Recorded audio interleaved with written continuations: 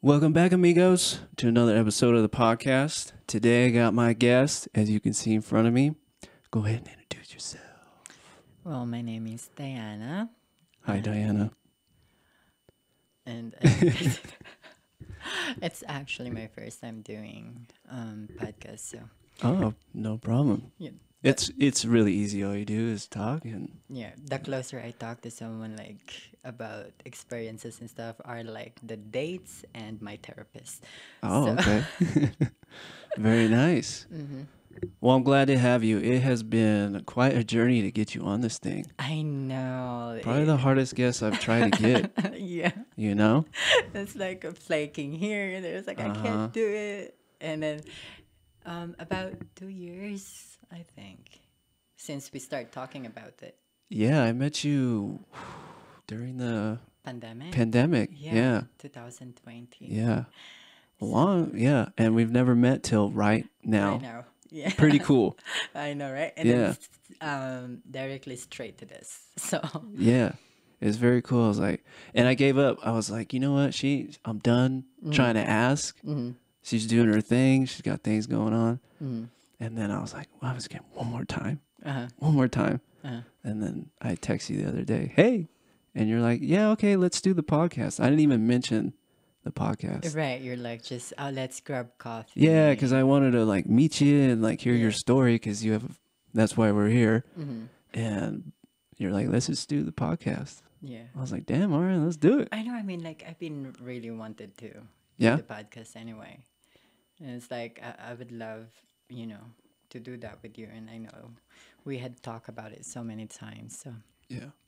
Well, you're here now. I appreciate it. Thank and I you. like I kind of like say oh no to coffee because I'm off sugar. Are you?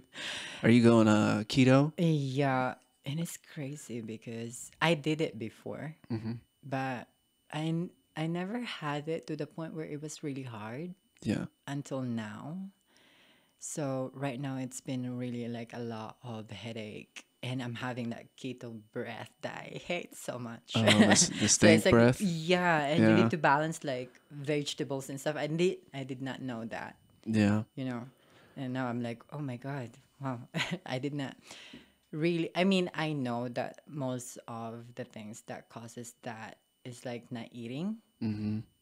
So before I just eat and I'm fine. Yeah. Now, like, you can eat in 12 hours.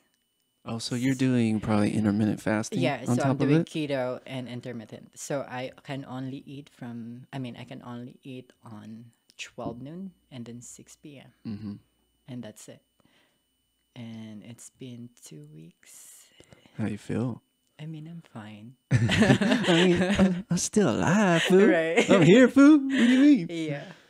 Yeah, it could be tough because I, I, I'm like in a keto. I go back and forth like keto paleo Mm-hmm. because you know I'll do really good for keto for a while, and then it's like, man, I miss rice. Like I love Mm. white rice and sometimes um, certain vegetable, not vegetables, but fruits. Mm-hmm. And I was like, I gotta have.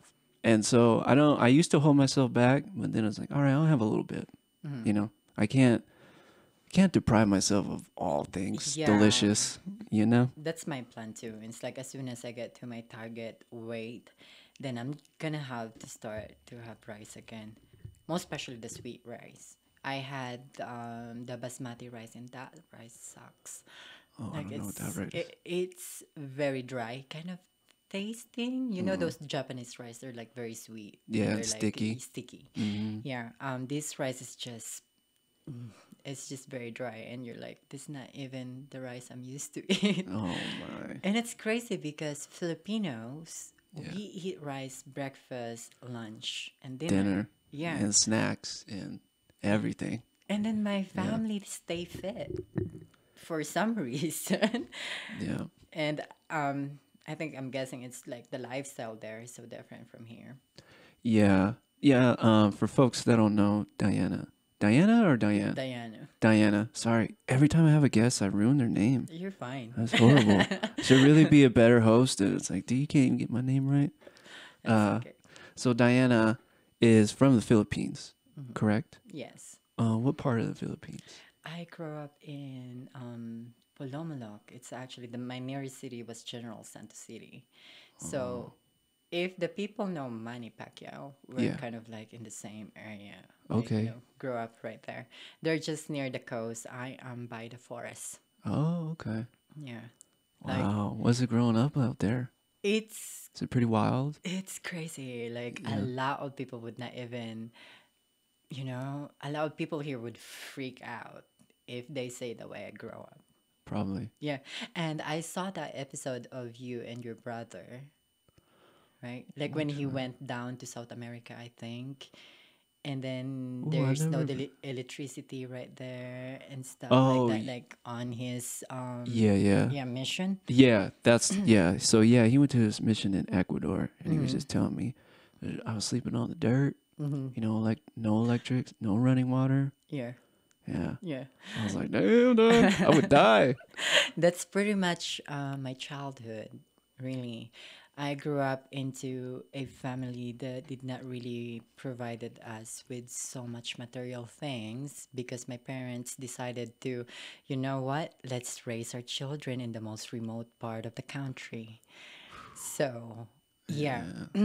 so I end up growing up into no running water, no floor, no electricity, and we cook our food by firewood. So it's pretty much like camping, Yeah, but full time. yeah. So Wow. it was not easy. No. Um, yeah, but I never really regretted. I mean, like not regretted, but I never really hated them for that or something, or you know, I never took it as a negative part Right. of me because because of that, um, every step up of my life had been appreciated. Like you know, if if I felt like I'm depressed today, I just need to close my eyes and remember those times where we were making charcoal for nothing just to be able to afford rice and just rice, you know? Mm. And right now, like, luckily, ever since I got here in the US, I never really starve. Yeah. and stuff. So, Yeah, I have um, a lot of friends from the Philippines because I worked in. I've been in the medical field forever. It seems like Yeah. over ten years now. yeah. And the first portion of my medical was uh, mostly the ladies that worked in the lab were from the Philippines. hmm And I was like, you guys don't ever want to like go back and you know, it's like Russ. Russell, you have no idea. Yeah. Uh, you, you're just kind of ignorant to it, and I was. hmm And then I dated a girl from the Philippines at one point, and she showed me like her house she lived in, how they took a shower with like a Like bucket the bucket. in Yeah. the- and the, the hose, yeah. and um, you know, most there is no like toilet. That's Mm-hmm. not such a thing, and you know, you would. I think if I I could be wrong, you take a rag and you know, clean up around there, or you spray some water and It's clean up. yeah, it's kind of like. Yeah. So here's what um I- in the farm setup. Actually, they we dig a hole, Uh-huh. right, and then we put like a slab of wood around it, and then there's just this little hole. Oh, okay. So like a squat toilet. Right, like, Gotcha. like the one that you can find in the um in the camping sites and stuff. Right, right. And then you bring a water and soap. So when you're done, you just wash yourself. Oh, So yeah. damn. hmm I wouldn't do well. Uh, And this is actually um, a lot of Middle Eastern and Indian. They Yeah. do the same way when they clean themselves, and that's why when they eat, they cannot use their right hand. They can only use their left hand because they use their hand by washing their. yeah. Yeah, in India, I know the uh, squat toilet like is the thing out there. Mm-hmm. I guess if you have a like actual toilet to sit on, like we do, Mhm. it's like, dude, you're a baller. Yeah, Yeah. You're, you're you're You're doing well. Yeah. yeah. Over a toilet, it's Mm-hmm. insane, huh? Where here, it's like, we don't have a toilet, you know. well, the toilet we can't go in the restroom right now. You're cleaning it. Right. Yeah. Like yeah, a lot of people don't even clean their toilet here.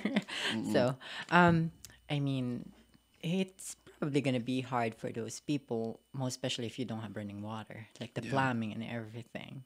So, So yeah. when so when you guys were out there growing up, did you guys have any like neighbors around, or you guys like tucked Um, away? I grew up with um, the tribe called Blaan. They are the native tribe back in the, I mean, in the community, and yeah, it was just like like very primitive and stuff.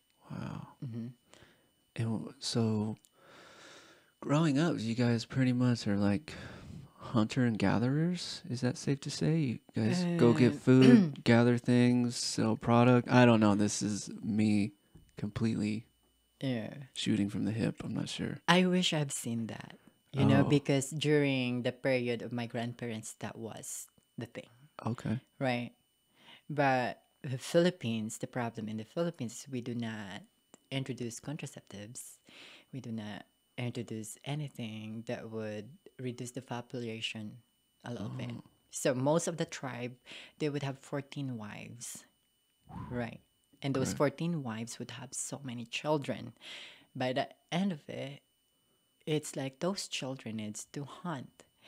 The thing is, in the Philippines, we harvest forests and we harvest wildlife, hmm. and this is why I care so much about, you know, the forest here in America. As you can see, I'm really big on outdoors, and I do my mm-hmm. YouTube on outdoor thing, because it's it's like I grow up into a forest that is dead. You know, there is trees, but I mm-hmm. call it it's dead because the people harvested every living things mm. in in that forest and nothing is left. And it's sad. So it's kind of like a um, cleared out pasture, just Ye- just yeah. wide open. It's not wide open. Like there's still the trees. The thing is too is that like we keep harvesting the trees because my town is the biggest um, pineapple plantation Gotcha. actually. So Dole, Philippines is near that area. So the pineapple from Dole is being harvested from that particular place. And then what they do is they would clear off land so that they can um, plant pineapple.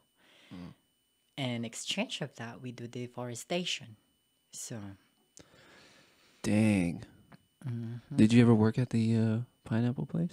no, I did not really like. I I was so lazy when I was growing up. Like I, I am this sickly kid, right? I am the eldest.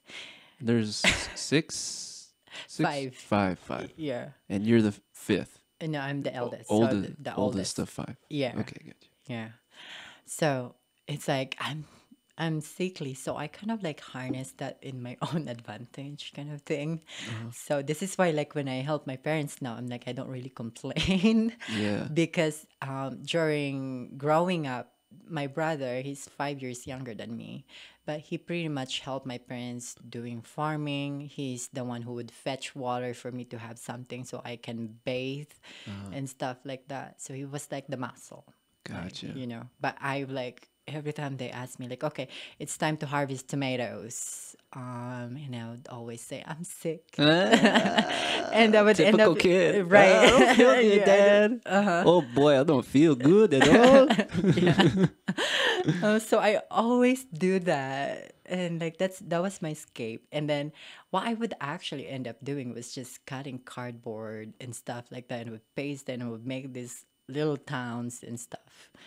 You know because in the farm we cannot really afford toys.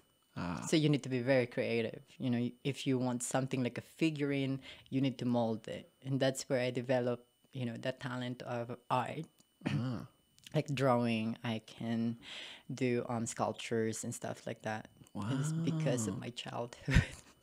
So was there like, so say here here's your house where Mm-hmm. you guys live. Is there like a local, I guess to say village? Is there like a Mm-hmm. hub that you can go get things if you need it? oh Right. in the philippines we call it sari sari store Sari sari store. right Okay. like those retailer that they would they would go to the bigger town get all those grocery and stuff like Uh-huh. And bring it to you. cans of food and stuff and then bring it there and then they would sell it for more right individually it's not like a. Ooh, bulk No, you don't get a six pack, huh? no so you sell, they would sell it like one by one by one like that and then like for example like an oil they would actually distribute those oil into these little bags Uh huh. and then they would sell that for a certain kind of amount so that they can make profit So, yeah. So it's kind of like a uh, or 7-Eleven, something like yeah, that. Yeah, but in a Filipino um, third world way. Yeah. So Yeah. I get it. Mm-hmm. Damn. So you guys had that? Was there like schooling available to you guys or Um, school was far. uh-huh. Um, our elementary is like three kilometers away. Okay. Um, about like I don't know how many, like two miles something. Two two something miles. Yeah, Mhm. but um, high school was very far. It was five miles, and it's a hike.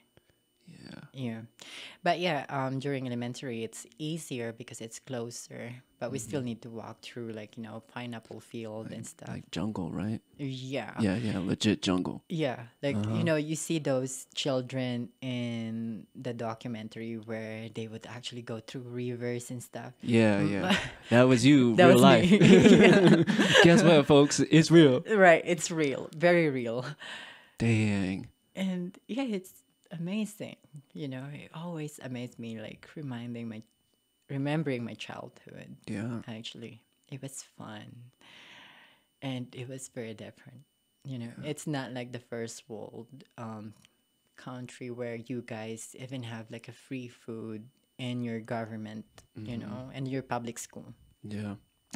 In ours, like we don't have that. We need to provide our, you know, school supplies, hmm and then we need to provide our own allowance and food, and we uh, on top of that we need to walk Yeah. to school. So Dang. it's like I I did not really I, I can say I did not really learn much during elementary because that's like just me being a kid, right? Yeah. Like just playing around, chasing and stuff like that. Like all I look forward to going to school was just to play. yeah. I think everybody was at that age. right. That's like me trying to get my dog just to like snuggle with me. Uh, He's, oh, dude, I'm a puppy. I gotta run. yeah. And he's got to run all over the house for absolutely no reason.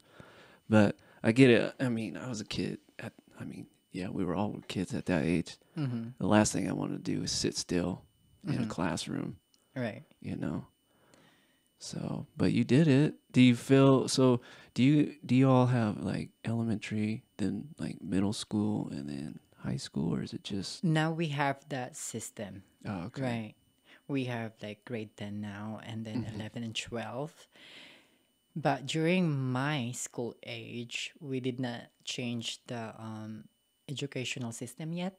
Mm-hmm. So we only have um, grade 1 to grade 6 and then first year high school to fourth year high school. Oh wow. So only four years in high school. yeah. So you were done about what, like 14? 17. 17. Yeah. Uh, that's how. 16, It, 17. yeah, that's how it is here. You spent four years in high school. Mhm.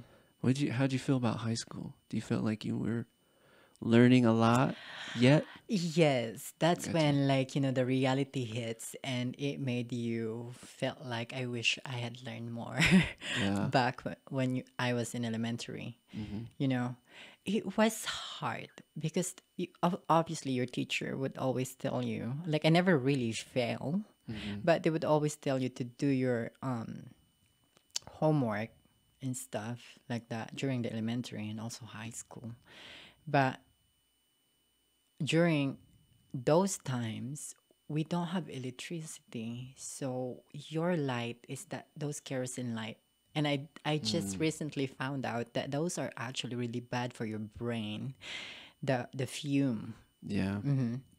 So what we do is just um, a kerosene light, and then at that time, my parents are really poor, right?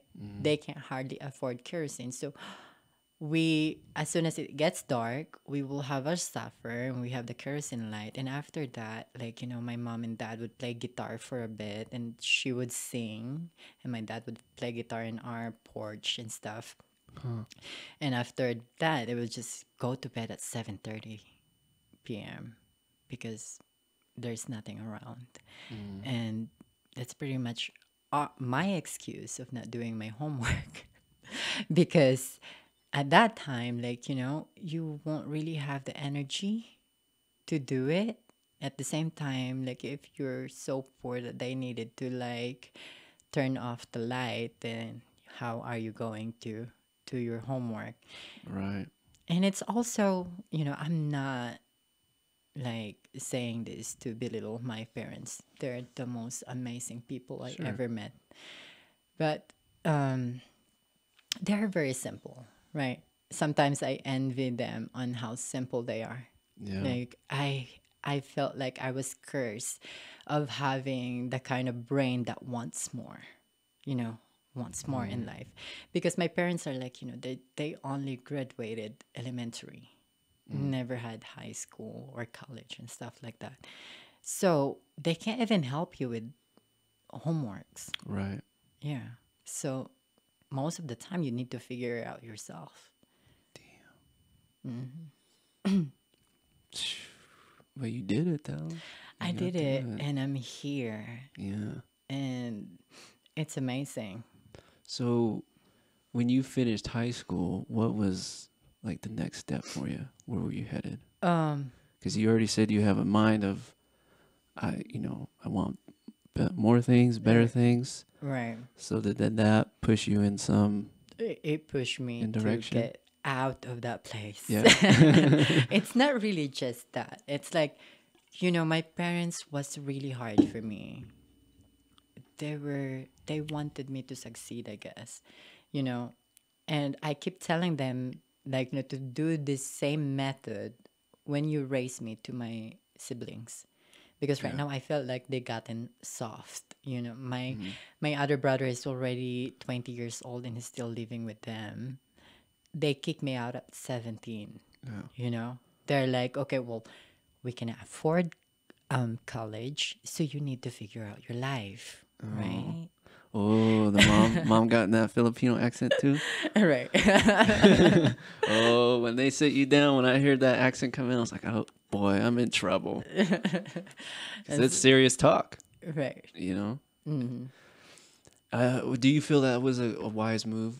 Your parents Mm-hmm. did that give you a good push to be like, okay, yeah yeah, it, it's really good and this is why i keep telling my mom now why is it so hard for you to kick him out and Right. it's like because he's going to starve Isn't isn't that typical though for Filipino families though? The boys yeah never leave. i don't know why I don't know. My parents kicked us out right when it was legal. yeah I said, "Get the fuck out of here, man. We're done with dealing with you guys." Right. They didn't say it like that, but they're like, "You got to go. Mm. Um, we're done. We're done doing our part," which uh can be frightening at that age. It is scary. You know? Like, you know, I experienced pretty much homelessness in Yeah. the Philippines, yeah, you know, on my journey. And that was when I was like 19 years old. I was living with a group of friends that we are all exile. Uh-huh. And there is this like older, you know, friend of ours that kind of like adopted all of us. There's like 10 of us in that house. And we can hardly afford food. Mm. Right? So it was really, really hard. Like most of the time, I've, I, I felt like just, okay, I might go back to the farm, yeah. you know? But I was like, what am I going to do there? Right? Farm. Mm, I can't. Oh. That's like one of the reason why I always had my excuses not to go. Oh, because you don't like to farm. I right? don't like ah, brother. I don't feel. Yeah, that's right. Yeah. I don't want to farm. I don't blame you. Farming's hard It is work. hard. Every Very day. hard. Every day you're busy. Yeah. Yeah, no. Um, the beginning of um our, my, I mean, my parents and my um, my parents' relationship, they were abundant. You know, they're having good harvest and stuff. They're having good money. Mm. Until I'm about eight years old, that's when my dad decided to sell all the land that we had. And the Carabao, I don't know if you know Carabao, it's like a water buffalo. It mm-hmm. helps us, like, you know, clearing the farm and stuff like mm-hmm. that. It's our um, organic tractor. So he decided to like sell all of those because he wanted to be a fisherman. But mm-hmm. when you're a farmer, you're good on farming. You're not going to be good on fishing. Yeah. So that failed, and we end up going back to the farm, and everything just went downhill, and mm-hmm. they never recovered from that. So Dang. at that point, we were like, okay, we don't have the Carabao anymore to clear the land. So what you do is you clear off like a whole acre of land or or two by hand. You know, by mm. this like um we call it sarol. Mm-hmm. It's something that you do that kind of thing. Oh, okay, yeah, just yeah, to yeah. clear like you know Just clean it up. to clear a big piece of land so that you can plant for example like a string beans that would not be harvested after six seven months mm. right and i'm i'm not into that thing and this is like one of the reason why i keep pushing them to like have a self-sustaining farm mm-hmm. to where they just plant the thing that they eat not they sell right any leftover from that they can actually sell and that's that will be their money for the rice Gotcha. right Yeah. but they're, they're just stubborn It's that generation, you know. yeah And maybe your dad's got a lot of pride too, which I get. A lot of men do, Mm. myself included. Um, yeah, I guess he may even sh- like fighting the denial. Like, damn it, I, f- I messed up. right You know. yeah So i mean in the philippines mental health is not entertained uh, yeah. yeah they're like oh you're just being dramatic just brush it off Which is crazy because the F- the Filipino cult, like Filipino friends and family I have, even Mm. the culture is very like upbeat, giving, from what I understand. Mhm. Very like they could have only one shirt. They'd be like, "Here you go." You know, it's very like wow. But I- then there's that dark side. yeah i am You know. like that even with my partner now hmm i kind of like you know what you're struggling you know i i, I can't just sit right there it's like oh you're struggling then figure it out right Yeah. no it would be like okay well my credit is so bad already but here get it Yeah, you know, it's just a very filipino thing I think I got Filipino blood in me because I am the, exactly the same way. yeah you would I, sacrifice your own everything. I just some you know I had to be put in my place just recently Mm. because I was helping a lot of people financially, which I have no business helping anybody financially right now Right, right, because I'm yeah. trying to pay off my school debt Mhm. and I'm tight tight living. Mhm.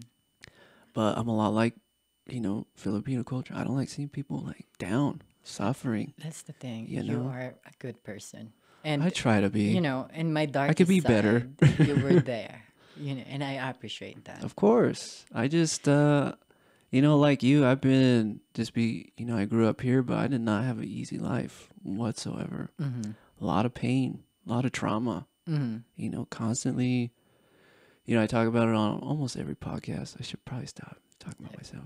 you can talk to, to me about But it, it, it it's important because I, I bring it to a lot of people's attention because I was born with a cleft lip and palate, Mhm. which you would regularly see in third world countries. Mhm. Uh, you see it a lot in the Philippines, Mhm. um, in India and stuff like that. So I had it, and I can't. I went through a surgery all the way up till I was about twenty four or five. That's a love surgery I either had one or two a year. Mhm. Um, the reason they did it is because I had just a unique case of, you know, I was both cleft lip and palate. Mhm. So as I grew, they kept having to like mold my nose because my nose was done. Right, like this is all plastic surgery. This is as good as they, you know, Right, they could can get, it. yeah And um, you know, I my vision was almost gone. My Mhm. hearing was gone. They had to fix that. mm-hmm. Uh, they were able to save one eye, so I got one good eye. Mm-hmm. I could see out of this my uh, right eye, but if I were to lose my left, I I can't drive. I can't. I'm done. right Um, I'm sitting at home trying to figure out what to do next at that point. mm-hmm. And so with all that being said, it's like like kind of like you you have to like endure all this Mm-hmm. because I had that mindset too. I was like I don't want to live like this anymore. Mm-hmm. Like being in pain. And mind you I didn't have a choice, but I told myself once I'm done with all the surgeries, uh, I'm done. I'm not having any more surgery. right And you know, I'm going to use that story as to like inspire inspire people. mm-hmm. And it's made me quite a softie because I had a lot of people who I've never met in my entire life. You know, Mhm. all these surgeons, nurses that were extremely nice. Mhm. Like, you know, like here's a little scared little boy. Just, I guess this is a normal life. Mhm. Far from it. And um, it really has made me the person I am. Yeah. It have has it bit me in the ass a few times for sure. Yeah. but it molded you to a better person. Yeah, Mm-hmm. and and I think uh, I I don't want to speak for you, but I feel like people who endure such crazy like lifestyles, what we think is you know Mhm. an American thinks is crazy, uh, it makes you some of the, the strongest people I've ever met in my life. It's You know? maybe because we've been to the most, the, to the deepest and the bottom. Right. Right. It's like, and seeing people, even if that's not like, you know, the rock bottom yet, seeing them hurts us, right? It makes us more compassionate towards their pain because we know exactly how it felt like to be in that place Right. and it felt like to be nobody is there for us Mm-hmm. except ourselves right Exactly.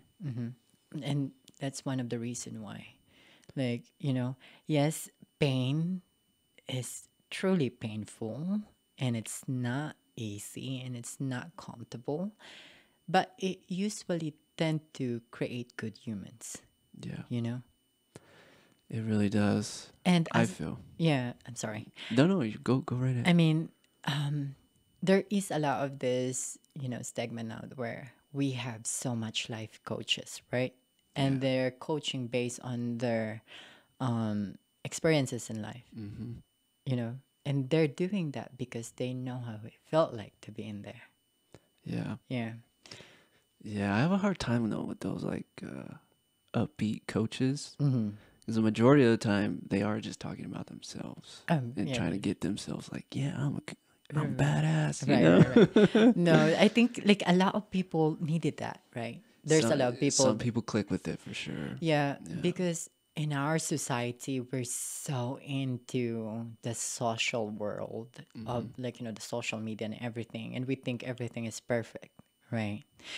And if we're not having a certain kind of lifestyle as this one that we idolize, we hate our lives. Right. because why is it not like like theirs? But most of that is actually very um i mean not fully true i would say. Because you can go to my social media. You can go to my instagram. Oh she's traveling everywhere right? Right. Oh she's traveling everywhere or she's having all these moments in life you just see the surface right? I'm traveling everywhere. I'm broke as fuck. Right? Like you know I, I i crash on my friends couches Yeah. you know? But i love living life that way. I don't care about the monetarily and i don't care about possession and stuff. I wanted the memories here Right. because that's the one that nobody can ever steal from me Yeah. therefore you need to do the sacrifice of being broke and it's being okay with like you know just sharing your friends houses everywhere i go to mm-hmm. arizona i crash on my family's couch and if i go to miami i crash on my friend's bed Yeah. and it's like well that's how i afford things Yeah. Yeah, I travel. I'm the same way. I travel. I try to stay with friends, Mhm. but it, is, it also gets to the point where it does inconvenience them, Mm. and then at that point, obviously, I just get a room or something. Well- you know, Airbnbs are pretty, pretty affordable. Yeah, when um, I was in like you know the darkest side recently, I went to Arizona to kind of like seek refuge. And I was like crashing on my friend's couch, and I felt like I'm intruding something, right? And this is one of the reason why I actually returned here in Salt Lake because I didn't want to inconvenience them of my existence because me putting myself into that situation that was my decision Yeah. right and i always like say oh if something wrong happens i can get myself out of there and i'll be okay Yeah. right sometimes it's so easy to say things when it did not happen yet and then when it happens you're like okay wow it's actually harder than i thought it Yeah. would ever be Dang. Yeah, it's crazy what we were uh, put ourselves through, and uh, it, it's wild, right? yeah i mean it's good Yeah. right? You keep making mistakes. Yeah, I just I get tired of it too cuz I watch myself doing it. I'm like, "Why are you helping people? You don't have money to help people right now." Mm-hmm. It's like, "Shut the fuck up. Shut up, other you. I'm going to do it anyway because that's the right thing to do." Right. And you're like, you know what? I can skip this meal and that meal Yeah, and that yeah, meal yeah. so I can afford to help this person. Yeah. And that's really selfless of you. There's not a lot of that left in here. There's not. and you know what? I, I had a hard I've had a hard time doing it because um I've had to really step away from a lot of folks. Mm. It's just like you know, I help you out. I don't expect you to pay me back cuz or else I wouldn't help you out. Mm. But I expect and maybe this is where I go wrong with it big time. I expect you a friendship still. Mm-hmm. You know, give me a call. How how am I doing? Right. Return the favor. Right. And boy, have I been stomped on lately. And it's like, okay, I can't help. I'm gonna have to be really selective. Like- Welcome to America. Yeah, it's an American fucking greed. I don't get like, it. What the fuck? I mean, I get it, uh, but you know, I don't know where I got my heart from, my kindness, and I think it's because of what I've been through. Mm-hmm. Just traumatized from day one. Mm-hmm. Where most people hit this way later in life, like when they're older, Right. their health is bad. You know, Mm-hmm. uh, mine was bad from the beginning. Mhm. And then, you know, I'm in a period where it's okay, but I, I worry, you know, I don't want to go blind. I can go blind a lot easier than a lot of folks. I can Mhm. lose my hearing instantaneously. Right. So, you know, it freaks me out. And, um, but I was like, you know, I, I just, I've been, so many people have helped me out. So many Mm-hmm. people I don't even know, people I do know. And it's like, whenever I get the opportunity, I, I need to, To return the back. favor. Yeah. You know, I can't walk around life going, I did it on my own, man. No one help me, bro. Like that is the most ignorant uh state of mind I I don't like being around. It gets Yeah. exhausting. Don't It get me wrong. super. Yeah, it gets exhausting. It's the same way with my family. Yeah. It can get yeah, like you said, I get tired of helping. It's like, oh my god, forget it. Yeah, and most especially if you felt like they never really appreciated it, and Right. then they go running to you when it's dark again, Yeah. right? Like you know, on their best, they just forget about you, Mm-hmm. and then it gets dark for them again, and then they're like, "Hey, you know, Yeah. I love my family. You know, they're one of those really amazing one. But the one that communicate with me bo- uh, most is just my brother, the one that fetch water for me. Mhm. Like you know, we are very close, and I know, you know, he's always there. If I have time, like he would call me a lot. Actually, he's the one that like just want my friendship, or misses me or something. Mhm. Same as my, I mean, my parents misses me, but I hate that fact that like you know a lot of Filipino does this, and a lot of Filipino abroad experience this, right? They would only say hi, how are you, and after that you're gonna can I borrow money? Mhm. By them saying borrow money, it's can I have some money from you that I don't need to repay? Right? Mhm. And if you've been doing that like forever and never really had anything come back to you, it feel it, it sometimes it gets exhausting, Yeah. right? Because on my family, like um when I finally moved out, my second job was a nanny. Right? I worked for my aunt. And at that time my brother went to the hospital and they cannot afford um the hospital bill. So they end up borrowing money from my aunt and then that money is being paid by me. So I'm working towards those debt Gotcha. not having anything. So I'm kind of like a human slave. Like, okay, I want this money. Mhm. I'll put my daughter in here, and she would work for you for years. And I did that for three years. Dang. so this was after high school. High, high school yeah. Yeah, you're coming back. Did you have to move kind of closer? Is Manila was Manila ever in your life? Manila is only in my life during my interview and medical to come here in the US. To come here. Yeah. Let Let's talk about how long it take takes and things like that to get to the U.S. So you worked as a nanny for three years. Mm-hmm. After that, where, where, what was the next step? Um, after that, I was doing, um, cook, not cook. I was actually a server. So Okay. after the nanny thing, and I was like, you know, I'm done with Yeah. I, I missed the kid Ah, because that was like the closest I had experienced how to be a mom.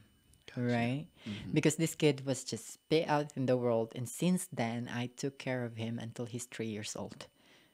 You know, I was there when he was sick and everything about a kid. Like the one that you would actually wake up in the middle of the night to feed this little creature. yeah. So it was fun, and I'm thankful for my aunt actually for giving me that kind of experience Mm-hmm. because it made me don't want a kid in the future. Yeah, kid, the It's like, kids are no joke. They don't go away. I think that's what Yeah. people get caught off guard. Like, dude, he, he's thirty and he's still yeah. I mean, You're the parent, man. It doesn't end because they're Mm-hmm. eighteen. no, Yeah, it's gonna be forever. It's a long, it's a lifetime commitment. So yeah, but anyway, um, we were gonna talk about the um process of going to the U.S. Yeah. So you probably, I'm sure you worked uh, different amounts of jobs, Oh yeah. and eventually you're like, what made you decide to go to the U.S.? I mean, like a lot of people do. I came here through fiance visa. Fiance visa. Yeah, so Okay. I married someone, Sure. but I did not marry him for for green card. Uh, Sometimes I joke around. I joke around it, and in my current relationship, I was like, "Why don't we do like a ninety day fiance?" And I was like, "Oh, I'm here for Andrew because I want my green card." That's sometimes that's the only way to get Right. here without such a hassle. No, my my relationship was actually really real. Real. So I was working as a server on this restaurant and I worked myself up to I became a manager. But every night, you know how religious Filipinos are, right? Yeah, So I- Catholic, yeah, correct? Yeah, Catholic. Mm-hmm. We always go to the church. And I always go to the church on my way home, right? This is my tactics because I felt like I'm sorry to the Filipino man. I just didn't feel like I have a future if mm. I choose a Filipino man. So this is what I did. It's like after work, I go straight to the church and I would pray for someone to come in my life and I go to the internet cafe. So you had access to internet, dating apps. dating apps. And at that Fair time I think it was like, you know, like Yahoo mm, Sure, yeah, chat yeah. Old school right, chat. Yeah. yeah, yeah. And I met this guy, and you know, we'd been talking here and there, and we continued to talk. And he kind kind of like cut me off actually, like, "Hey, I found someone else," like you know, and I'm like, "Okay, whatever." I'm just gonna go find someone else. And so- Lord, Right, right. Round two. just, like, yeah. and then um, one night, he just chatted me like, "Hey, I'm in Zamboanga Zamboanga is the most dangerous part of the Philippines." oh, I'm like, "Oh, what are you doing there?" oh, you, do you know where you're at? right, right, Dude. and he's like, "I got catfish." Oh, And then, do you want to meet? Like, do you want to meet? Mm-hmm. You know? And he was like, he went to Davao to meet someone there and then went to me. And then, like, we end up liking each other. So, at that point, we lived together in the Philippines for three years, wow. right? So I And was he like, was a U.S. citizen. yeah, he is Okay. a US citizen. And then at that point, I was like, oh my God, this is God's answer to my prayers, right? Yeah. And I always had this saying that I always say to people I asked God for um, sugar, but He gave me salt.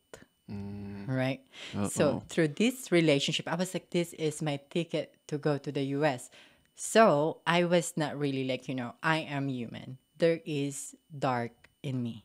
No matter how much I would say, oh, I'm a good person, we always have our alter our our artillery. I can't pronounce it. Our motive, Or yeah, our hidden agenda. right? Our hidden agenda. But my hidden agenda is that I wanted to be in the U.S. and I wanted to be in the U.S. since when I was like what, twelve years old, Gotcha. right? And I was like, this is my ticket, so I'm gonna take it, Sure. right? Sure. this guy had beat me up every week, right? Would throw me outside of our door and stuff, and I would have bruises everywhere. And I took that shit. and uh, yeah, I, I took it. I took every beating, everything, and stuff. And at that time, I'm, I'm I was already doing modeling, you know, because this person helped me to discover a different life. Although he was very negative, at the same time, he actually um, helped me to become, you know, a better version of myself physically. So, at, yeah, at that point, we are like just continuously to um, do it over and over again. Like we would break up, I would run away to the farm, and he would like be there in a few hours, asking me to come back. So it become more like a almost like, a, trauma bond. Yeah, very toxic. Yeah, it's very Yeah. toxic, and it's like codependency, Mm. right? And um, back in 2014, I think, yeah, 2014, I met him. Um, 2010, I think 2011, but um, back in 2014, it was December, and I was gonna go visit my family. Like you know, December 24th was um, a birthday of two my of my brothers, and on the 23rd, he just beat me up to the point where I could not take it anymore. Like, you know, I go running to this corner and you see this like six foot guy kicking the hell out of me in the corner of the room to where mm. I felt like my bones is about to break everywhere. Right? And then pick me up and then throw me again in the door and like have all my legs like cut and stuff. Damn. And at that point, I was like, I'm done. You want me in your life. I think we need a break. At the same time, you need to go back to the US. Because at that time, I was the one who's supporting him in the Philippines. And it was not cheap. Yeah. You know? it's already really poor there, and you're supporting it. Yeah, I, can't even help my family at that Yeah. time. Like, you know, they would come to me like, oh, you have a fam. You know, the Thai people, when you have a white guy, they the white guy would support the family, right? Right. So they have that kind of the same expectation in the Philippines. But I'm like, I can't because he is here. We cannot afford it. And all I can afford is to renew his, um, what's this? Like his travel visa. yeah, his tourist visa. So every three months we need to renew that. And that's like two, three hundred dollars And he stayed there for three years. for three years. Yes. Boy, was he? Does he have something going home back home that he was No, scooting he, away pre- he pretty much like give up everything here Uh-huh. and was gonna move there for good, right? Ah, okay, okay. So yeah, and I was like, okay, well, I'm doing modeling, I'm doing call center at the same time, and I was like, well, we, I can support us, right? Yeah. But at that point, we're like, oh, I just got so fed up with it, and I go to the cops to report him. The cops would like, oh, what did you do? Mm. Thanks, guys. It's like, what did you do to deserve that? Like, did you cheat? I was like, what? Like, are you kidding me? Like, our system is just really backward back home. yeah, a lot of corruption Right. over there. Uh-huh. Yeah. So if you don't put money in it, then good luck having, you uh-huh. know, yeah. Damn. So at that point, I was like, you know what? You need to go back to the US. And he did. He was like, oh, no, no, no, I'll be good. I'm like, no. I'll you said that so many times and you said you'll never do it again. And after a week, I get beat up again. Like, you know, my body cannot have that time where I don't have bruises. Mm-hmm. You know? I'm like, you need to go back home. Like this is good. Like it's more like a status symbol because you know Filipino we love to have our white guy, Yeah. right? It's it's a thing, you know. It be- really is a thing. yeah, Yeah, yeah, yeah. because we we want that hybrid kid, And it's Yeah. like a Filipino American kid. They Right. turn out really like a really good mix. Right. So we I wanted that. But I'm like, you know what, this is not worth the price. So let's see how it goes. You go back to the US and I stay here. And after a year, um, he did um, fiance visa. So the application for fiance visa. When the USCIS um, accepted the letter, because you need to like, you know, pile all those paperwork and stuff, like after I think six months for me until I got a confirmation to go for a interview in Manila. So after that, you kind of like book a date for interview in the USAS, and at the same time, you need to have a medical to do anything. Like, Right. yeah, they need to check every inch of you, like you, until to the point where you're actually like fully naked in front of the doctor, you're spreading your ass cheeks and stuff. Whoa, going in. All right, big breath in. yeah. Is that all you got, Doc? yeah, right. You're like, um, am I doing something? Am I supposed like, to push? I'll put. I'm gonna go ahead and push. So yeah, um, there's that, and then it was actually a really fun story Yeah. because they would load you up with so many vaccine. Yeah, we love our vaccines over here. Mm-hmm. Yeah, So I had like double vaccinated for Woo. everything. you're good to go. I Bulletproof at that point. I guess. And um, yeah, during my interview, it was also crazy because a lot of people, especially a lot of Filipinos, they would overthink so much about the interview, right? Mm-hmm. They're like so scared and they have all this proof of relationship, especially if you're doing fiance. And I don't have much, you mm. know? I don't have much. I only have like six pictures of us in three years.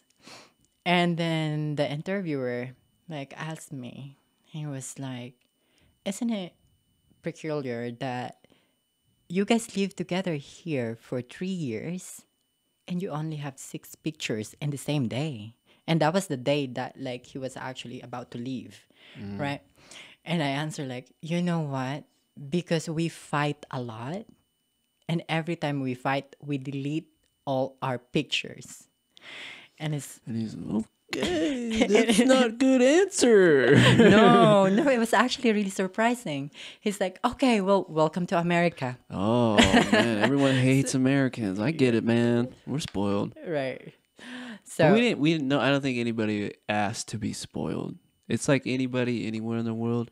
Whatever you're born into, you kind of take for thing. granted. Yeah, Yeah, there are a lot this is of our what we were born into, we want, we don't, we don't have. right? You know, what we have, we don't appreciate. Right. Yeah. There's a lot of things where I go, fuck, dude. Mm. I'm so lucky to even have hot water to take a shower. Mm, You know? Yeah. Can you imagine those times where you actually grab a bucket Mm. from like uh, some kind of like a drum? yeah, and then like pour it like that. It's whew, ice cold, like super ice cold Yeah. water. Well, I do the ice bath, so you know. Well, I guess it's good for you. Yeah, I like that weird stuff, but yeah. So you got you delete all your pictures. Mm-hmm. They tell you, "Think welcome to America," Mhm. and you were like, "So can I go now?" Yeah, they're like, yeah, you're approved. They yeah, hit the stamp. yeah, they hit the stamp, and you're like, okay, well, wow. Oh, Like, is that all I had to say?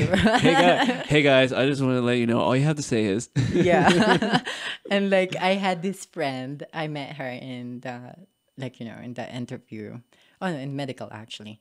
And then she has this paperwork and like they're like well you need to uh you know submit more paperwork. And she's like and then you just have nothing. That's so biased. And but i think that's also like you know this is a really important um information. Ours was w2 right? My partner at that time he was earning w2 if you have someone that earns 1099 or own their own business they have to declare everything and that's when you have all those paperwork that you need to fill out Gotcha. so that was the thing And it's Uh-huh. actually easier when you just, you know, go and become a sheep of the government. Really? That rather than like, you know, becoming like, oh, your own, you are a business owner and stuff like this, you have a lot more to prove. Yeah, every every dollar has to be Mm-hmm. accounted for. How you spend it, how you get it, who you're giving it to. Right. Yeah. Can be Maybe they're afraid of like someone money laundering or something. But the United States government has plenty of money. They get money every day mm, from everybody who works way harder than they do. And Chris Rock did a whole thing on it. mm, He's like, government every two weeks they jack your ass mm-hmm. every two weeks, Yeah. and they don't even lift a finger. right. You know, so I get it. I get why. Like, And, if I knew how to, I'm not gonna say it out loud, but you know, Mhm. if I knew how to work money, I would definitely right. figure something out. Yeah. And that, that's also like one thing about America is, you know, it's not the land of money, it's land of opportunity. And it's the land for the brave. hmm It's tough here too. Yeah. It comes with its own demons. Yeah, and it's like, you know, mm-hmm. after a few months of that, like I booked my flight here and stuff and it was agonizing 26 hour flight. I could barely handle six. Right. Like you know when I is when I go to Florida, I was like, that's a long flight. I- I'm not looking forward to it. It's like a five hour flight. Yeah, it, that's a long flight for some reason. It's Right. it's always connecting. There's never a direct, and Mm. it just takes forever to get there. Yeah. Yeah, I hate going there. Um luckily I always find one way. Uh, not Ooh, one way, like. Um, just, you know, straight. Straight. Yeah. yeah. But like yeah, I was like, oh wow. America, like the it's very clean. It's it's land of the rich and everything. Mm-hmm. I can finally be in the place where I wanted to be. And don't get me wrong, when I got here, I felt like home. You know, when I got here, I felt like this is where I belong, and there this this is where I should make my life, and like you know build my life and stuff. Nice. And then you start seeing the reality of your dreams because everything, it's better to imagine things than to be there in person, right? Ooh. Yeah. It's like when you look at these really beautiful places you find in the television and you want to be there. Yeah. And it's like, oh God, it's it's like heaven. Mm-hmm. When you get there, there is weather. and it's like, yeah, it's so beautiful, but it's very hot or it's very humid or there's so much mosquitoes. Yeah. We human, we do not imagine that. So as a citizen of a third world country, I imagine everything is perfect in the US. Mm. You know? So for the next three months of your life, landing here, you're going to have a homesickness. And realizing that it's not always greener in the other side. Yeah. And you're like, okay, well, there are people, I did not know about homeless people. You know, I thought that only exists in the Philippines, Yeah. But it has become a really big problem here. Yeah, it is. The homeless thing, I, I get, but I don't get. Um, I used to be very sympathetic to homeless people because my brother, he's homeless, Mm-hmm. my younger brother. But after a while, you start to go, hold up. If you can stand on the side of the road for eight hours and look pretty decent in health, you don't look like you're Mm-hmm. Being outrageous. You know, there's people that just stand there, no emotion. Mm-hmm.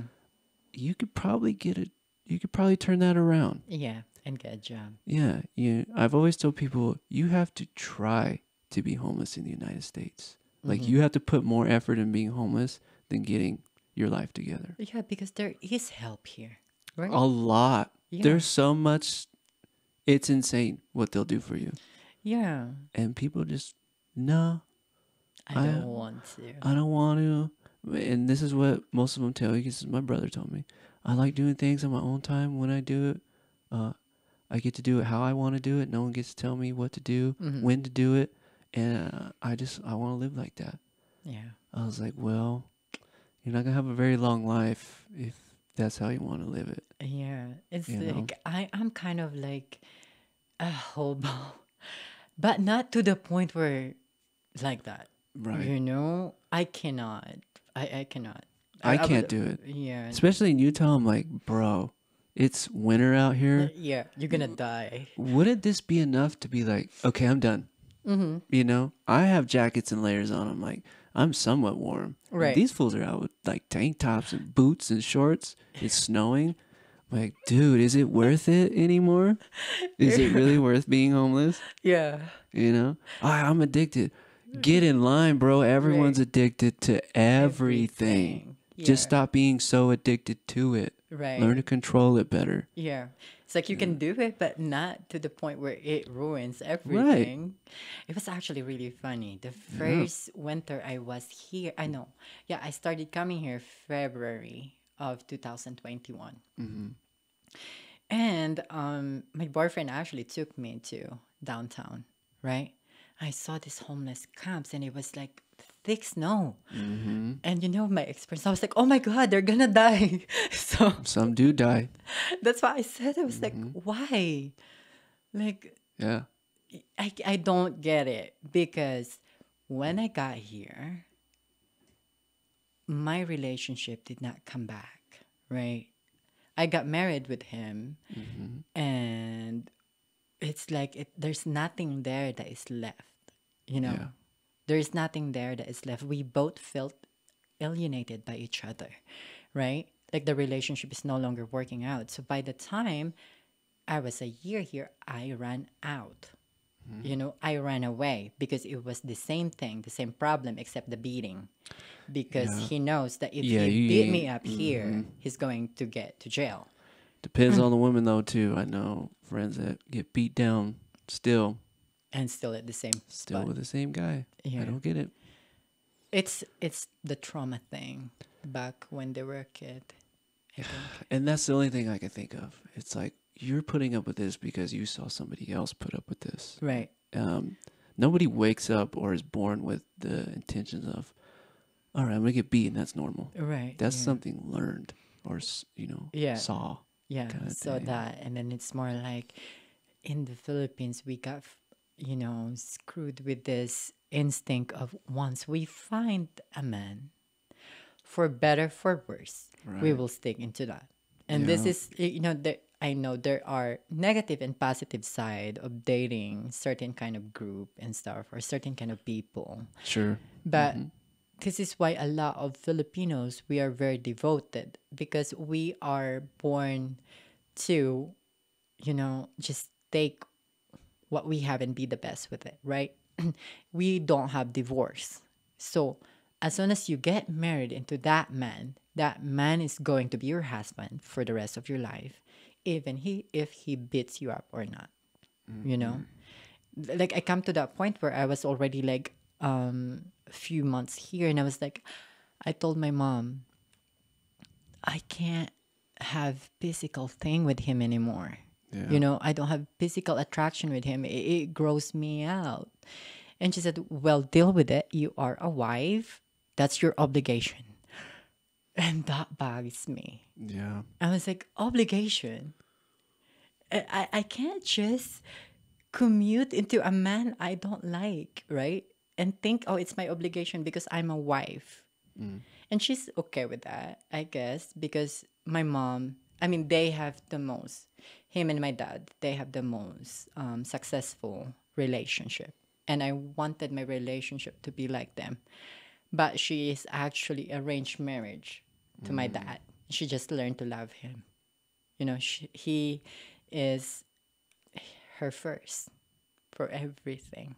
So she has the real monogamous relationship with my dad. Dang. But, yeah. Kudos to them. For some, that's it.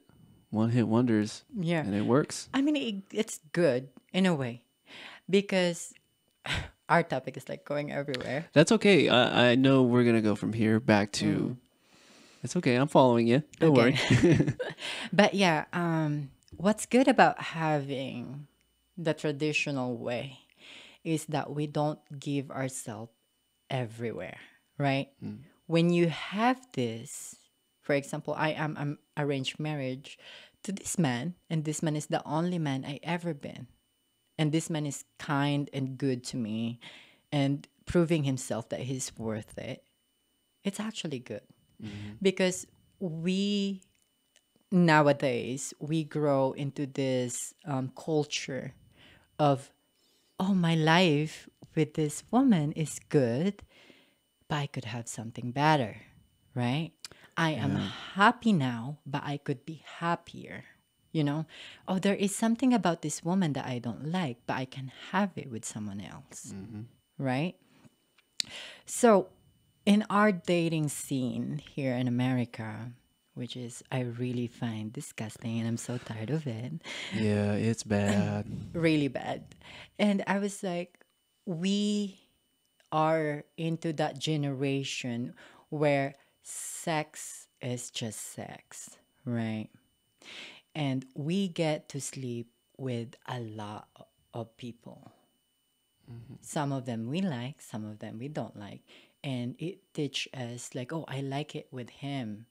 But when you find a partner that is devoted to you and wanted to do it with you, like you know, for the rest of your life, it's something lacking. Hmm. You know what? Because you got spoiled by your experience through your all through all your journey.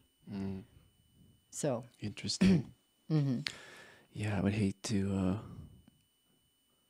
be in the trenches with dating. yeah, That's tough. Because, like you said, everybody's like, well, my God, nah, this isn't working out. So swipe, swipe, swipe, swipe, swipe. Yeah, no. it, it just become really easy to. Um, Yeah, no one really tries. I mean, you know, It's like minimal effort, huh? They got their whole like profile and they feel like they know everything about you.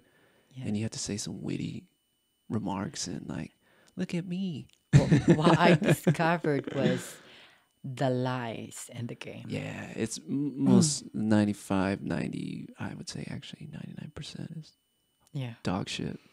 I mean, don't know? get me wrong. I just like I, I put it in there to be like, oh, I am this, I am that, mm-hmm. right? And it's kind of like you know, it's something I can met. Yeah. A lot of people say things that they can't ever do. That's the problem.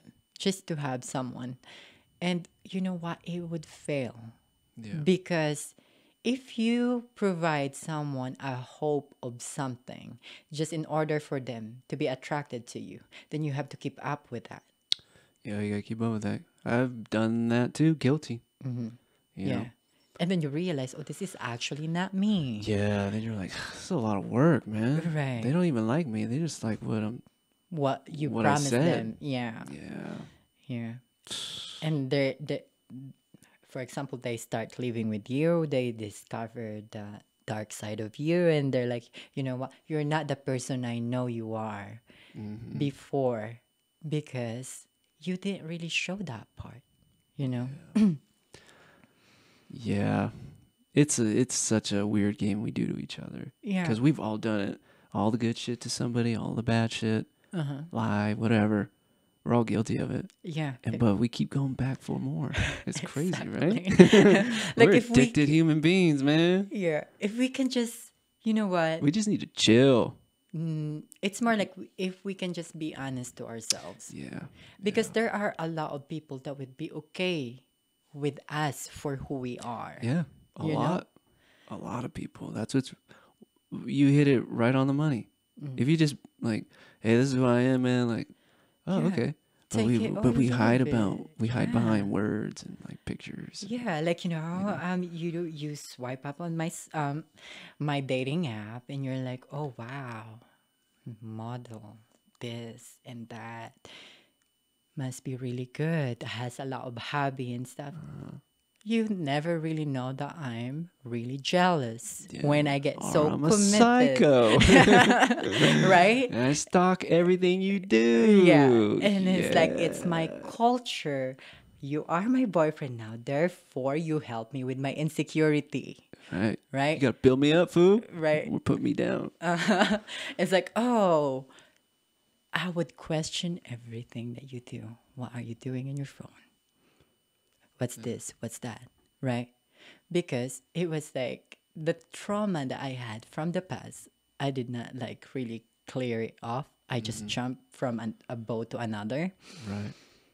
and it was it had become like you know a conflict so it's like a lot of people would like oh you know she's this she's that why this you know things happen like you know, it's not just the story of our lives there's always like you know the other side of the coin right Yeah. I mean, like a lot of stories out there is like we just listen to that person talking. We never really speak to the person who is in the other side, you know? Right.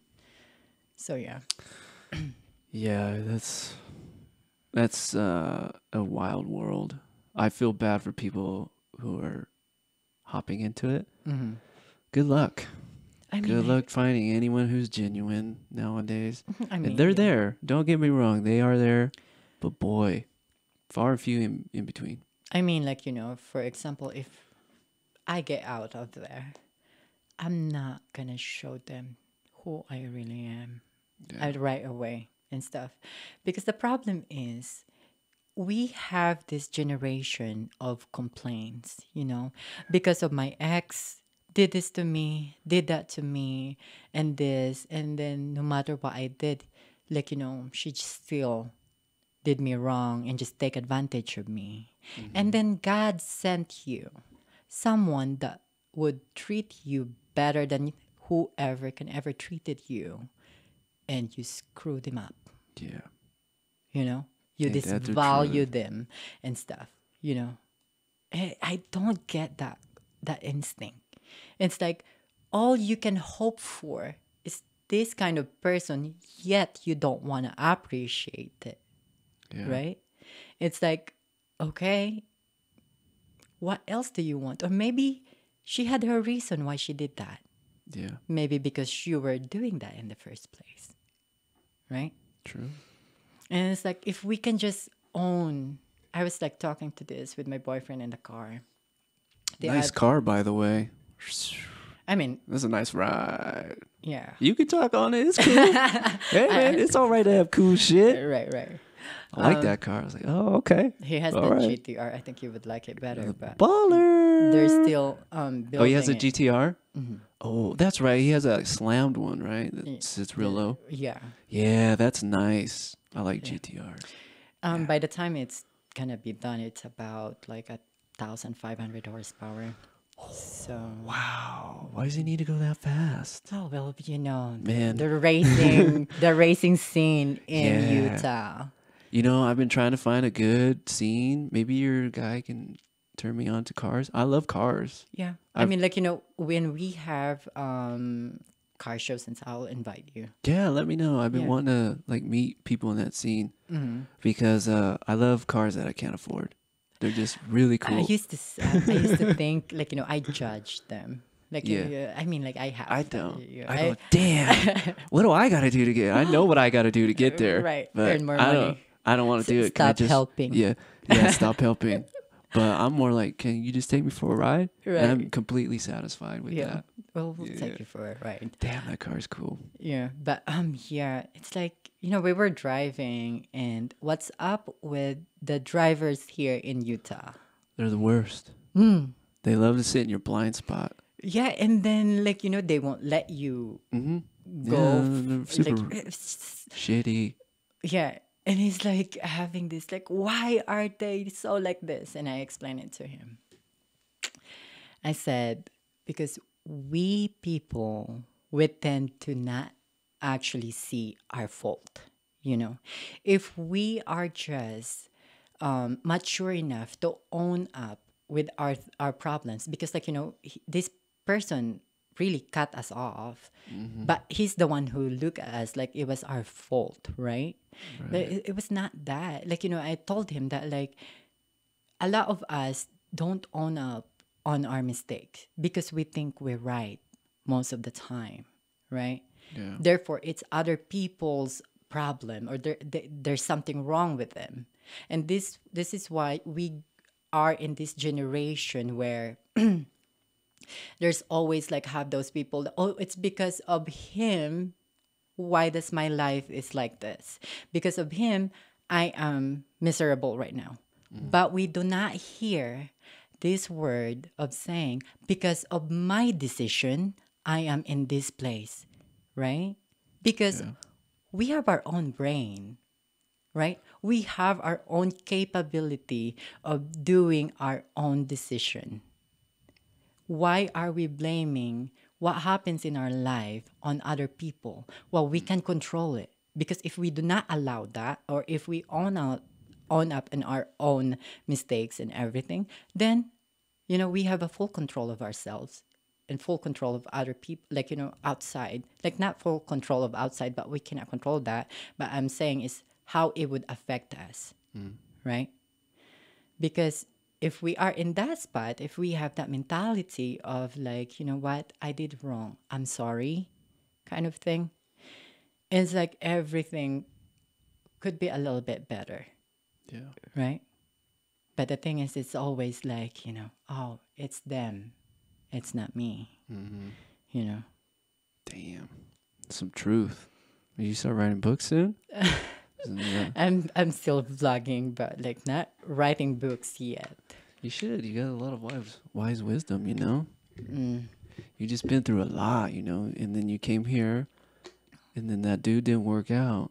Mm. And then what happened? After you, and did you go to Phoenix from that, that point on? Yeah, and remember I said earlier that God gave me salt instead of sugar. Uh, This applies to my relationship with that person and also my green card. But the first is in the relationship.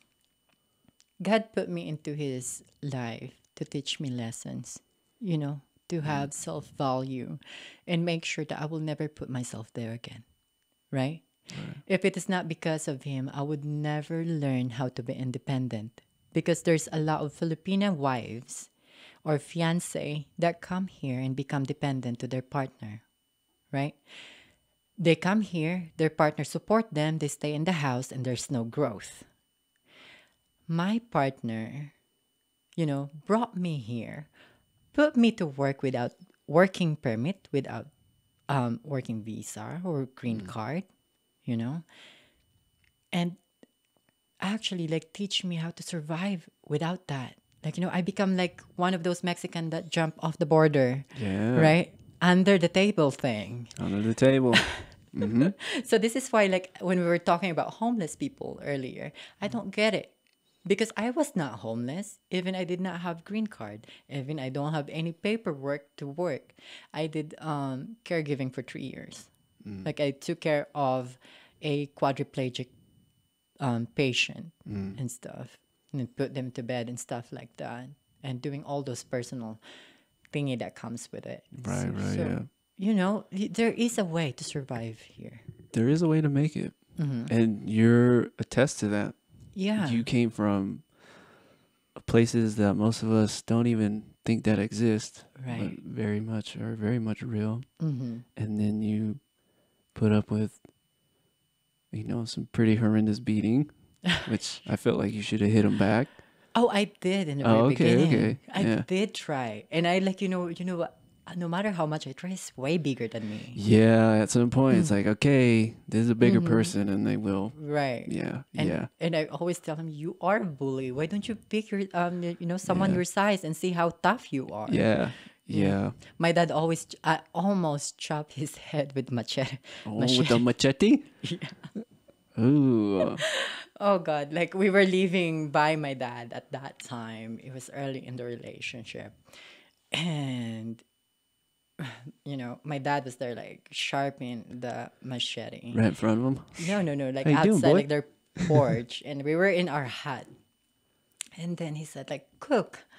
I'm like, I don't feel like cooking right now, so Brother. yeah, he started like you know he just get a bucket of water, and uh, you know pour it in me in bed, and then slap me in the face, and then I shout, right because I your- got surprised. Your guy doing that? My ex husband. Oh, okay, okay. Yeah. Damn, what a dick move. Right. Time to wake up. And then I shouted really like I, I mean I screamed. My dad heard it, and then mm. he went out with a machete. Dang, nothing scarier than parents that are upset. Yeah, you know, and and then my trying to um, protect your kid. yeah ex husband at that time grabbed me in the hair and like do this action with the scissor, He's kind of like taking me as a hostage. And I'm like trying to calm my dad. I'm like, it's okay. He just poured water on me. And it's like, oh, okay, okay. Like, you know, that. But Yeah. that was crazy. That's crazy. I'm su- I'm surprised it got that wild, you know, and that you're just like, nah, uh, I'm gonna get through this, and I'm gonna get to the U.S. You know, it's the You know? stubborn side of me. sure, know? yeah. I, if I, I mean, I get why you did it. I totally understand. Like, Mm. you know, here's the opportunity. Uh, I'm gonna have to stick this one out. I get it. I, I mean, but I would have now probably if you look back, like I would have left Mm. immediately. Yeah. You know. I mean, right now, I would never. Oh, for sure. I would never. Right? Yeah, at our age, like what is it in the like you know like a lot of people would probably look at me like oh she's a user but like hey I I put my bargain right there Yeah, and I yeah, I'm guilty Yeah, yeah. You I'm- admit if yeah. it was flawed, right For sure. you know Yeah. and I got what I wanted and I did not really lack on you know because I supported him Sure. yeah I was not just there to like you know I supported for supported him from not just me but the people around him and stuff like that. And I like my family never had any money from him. So there is that. I always say I have given him more money than my own family really. And you know I paid him with my green card and everything just going like you know just try to you know what let's work this out. And um after a being a year of being here in America, we got to the point where like he would purposely lost his job so that he cannot process my green card. Right? So he can't afford my green card, so he has a reason to take all my salary and leave me with nothing and keep me in that loop because he thinks it's like okay as long as she's doing caregiving i don't need her to go anywhere and she don't need to have a green card. Therefore she cannot run away. Mm-hmm. Right? Entrapment. yeah. And i was like you know what? I'm already here. I had i had proven i can survive without green card. I ran away to texas. Yeah. I took the Greyhound bus, and that Greyhound bus is like a 24 hour ride all the way to Austin. Damn. And on my journey right there, I got bumped off in El Paso. And this is one of the reason why I will never go back in El Paso. I had a very traumatizing moment there. Hmm. Yeah. The immigration just like, you know, start checking. And you know, like your visa here, when your fiance visa is only three months, right? Mm-hmm. But you need to get married during those days. And I got married and I had all my paperwork with me, luckily. And when I ran away, I took it with me. And then they bumped me off. They detained me for eight hours. And it was my first time to be in a detention cell. Damn. And I was like one of those psychopathic people that got detained. Like I would do yoga, I would do praying, I would do crying, and then like yeah, it's just I didn't know what to do, Damn. right? And they were like ha- trying to find something so that they can keep me there and kick me out of the country. And I was like, Lord, if I no longer have a purpose here here in America, I get it. You know, at least I was able to be here, and I tried. Yeah. Yeah. You got a lot further than a lot of folks. Yeah. And it's like after eight hours, they like send me off and stuff. And I made it to Austin after 34 hours. So, Almost two days. Huh? yeah. And it was crazy. So when you got to Austin, you kind of like get a job, settle. Mm, I tried to like, you know, like settle and stuff. And then um, me and my ex, were kind of like, he's like, you know what? If you come here, we'll be roommate roommates. You know, it would be better than crashing someone's couch. And if you pay me this certain amount of money, I would be able to, you know, go with you to your green card um, interview and stuff like that. Right. So I'm like, okay. So I went back. Damn. I went back to Phoenix. And then I save and save and save. And finally processed my green card. And then the administration at that time was just turning, right? It's all new. Everyone was rushing on their green card. Everyone that did not process their green card was processing. Yeah. So my green card was delayed for three years. Three year delay. Yeah. So it's like this is also when I told you earlier, like you know, the salt and sugar applied. Mm-hmm. Because if I had processed it right away, I would have actually just have two year green card and then I need to reprocess it and then to have a ten year green card. By me sacrificing those times of not having a green card and finally have it after three years, the USCIS granted me within 10 years. So I did not need to like redo the green card over again. Mm-hmm. So that's yeah, that's actually good. And that's Yeah. like I always like I always say that like there's always reason why this certain moment in our life, like now, happens because there is a purpose for it in the future. And then by then you would realize I'm actually having goosebumps. you would realize that oh wow, That's if what that, that, did was not for. yeah if that did not happen then i would have not been here right Mm-hmm. it's more like um you know the apple guy steve um Steve Jobs, jobs yeah brother Jobs. yeah like what he um, wrote about the dots connecting dots and hoping that it would connect in the future right Yeah. you just got to believe that it would Yeah, I totally get it. I Mm. do a lot of like you do. I do a lot of editing, filming, hmm and I always ask them like, "Wow, I don't even know why. i mean it's I do hobby. this. yeah you know What's really the goal? What is my? I know what my goal is. I'm not gonna say it out loud, but I was like, you know what? You just have to pretend nobody's listening or watching, and just keep going. I mean, you need to believe in your dream. That I I'm stubborn. I truly believe in it, but I believe in it in a very like unique way with it. Like I fight with it. Mm. Like, come on, man. Like we're supposed to be like blooming right now. Like, no, no, no. It Takes time. It's normal. Yeah. It's normal. There is no Takes business time, right there that just bump out. Yeah. You know, that, that is not going to work.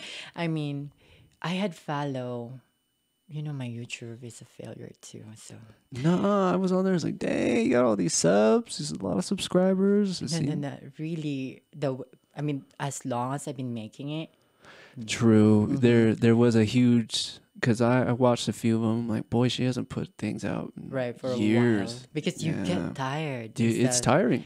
It's a lot of work for free. And then it's like my friend, actually, she just started it on the pandemic, and then now she's monetized, right?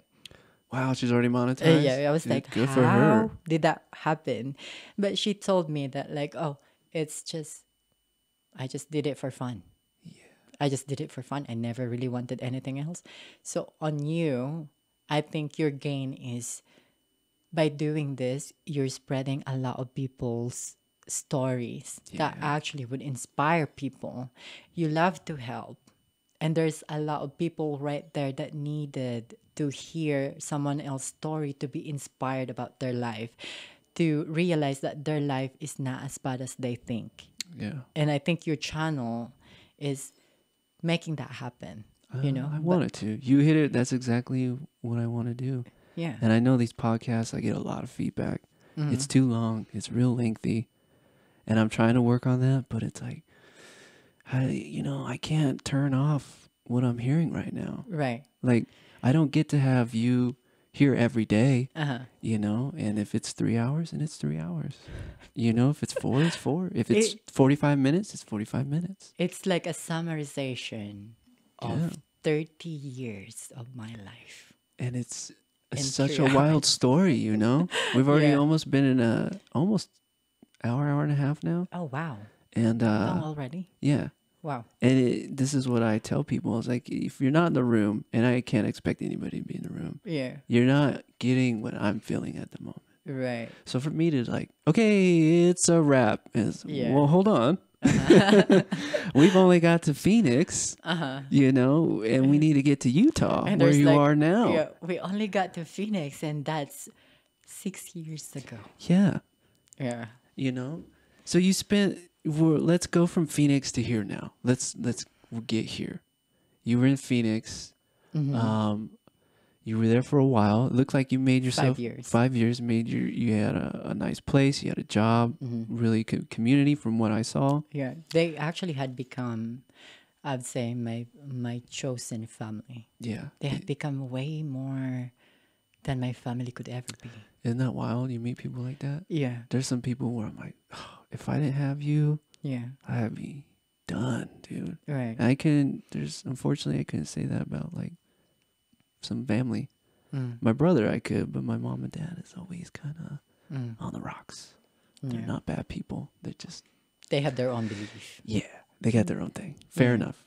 Yeah. But you, it seemed like you had a really good community, good Mhm. family there. You were doing sales, is that correct? Some sort of sales, like saws and stuff. Oh yeah, we were Saw like blades? selling saw blades, and then um, it's actually a couple. Like her husband sells saw blades, and then um, she sells like all the goodies that all this boutique can have, like you know Okay. fidgets and stuff. It's just like Oh, all fidgets those, and stuff. yeah. Okay, And I'm happy for her. She become really successful on her own field. good for her.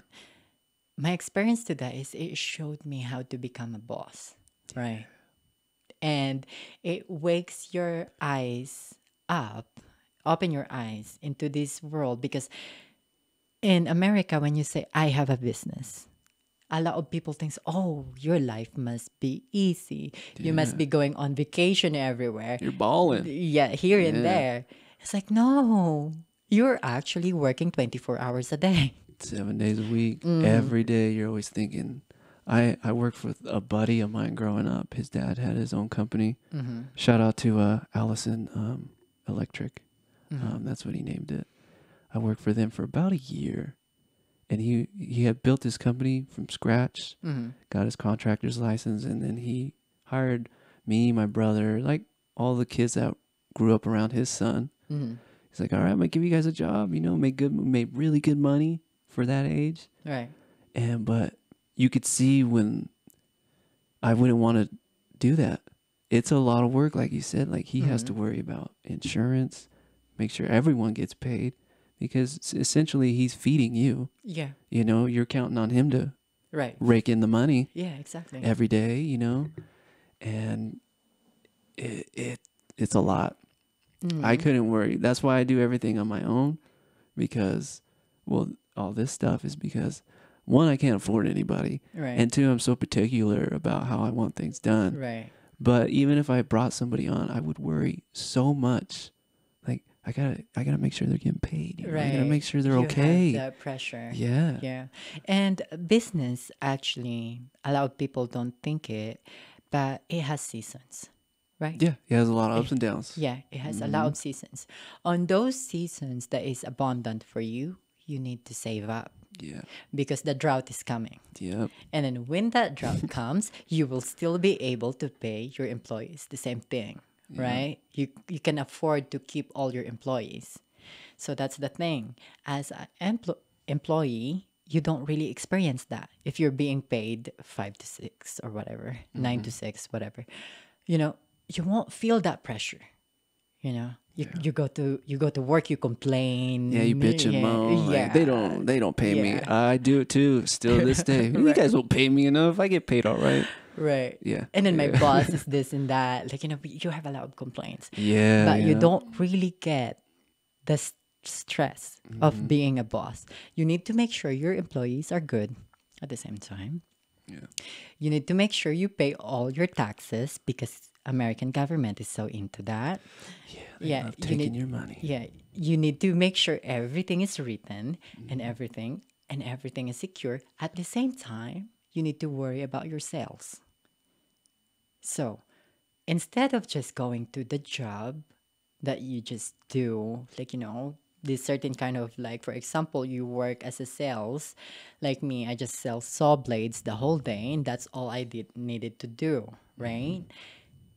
I'm not the one who's shouldering all those hardship to actually survive that business.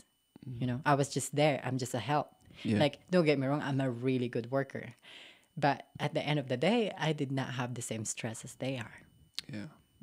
So Yeah, that's like the different. pro eh, pros and cons of having your own business and working for someone else's business. Yeah. But you did it. You did it for five years. Um, no, no, not entirely. Not entirely. So, I was doing caregiving for the for Oh, three years. that's right. And then Yeah, and I finally had my green card. So I transitioned from caregiving, a little bit of modeling gigs here and there, Mm-hmm. and to I work for Macy's, right? Until until the pandemic.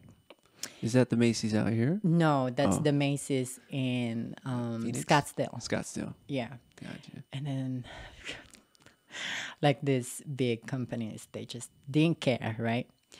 And pandemic happens, so I was so lucky to have Anne, like you know the the blades and stuff, like you know their their business, because she's like, you know what, work for me.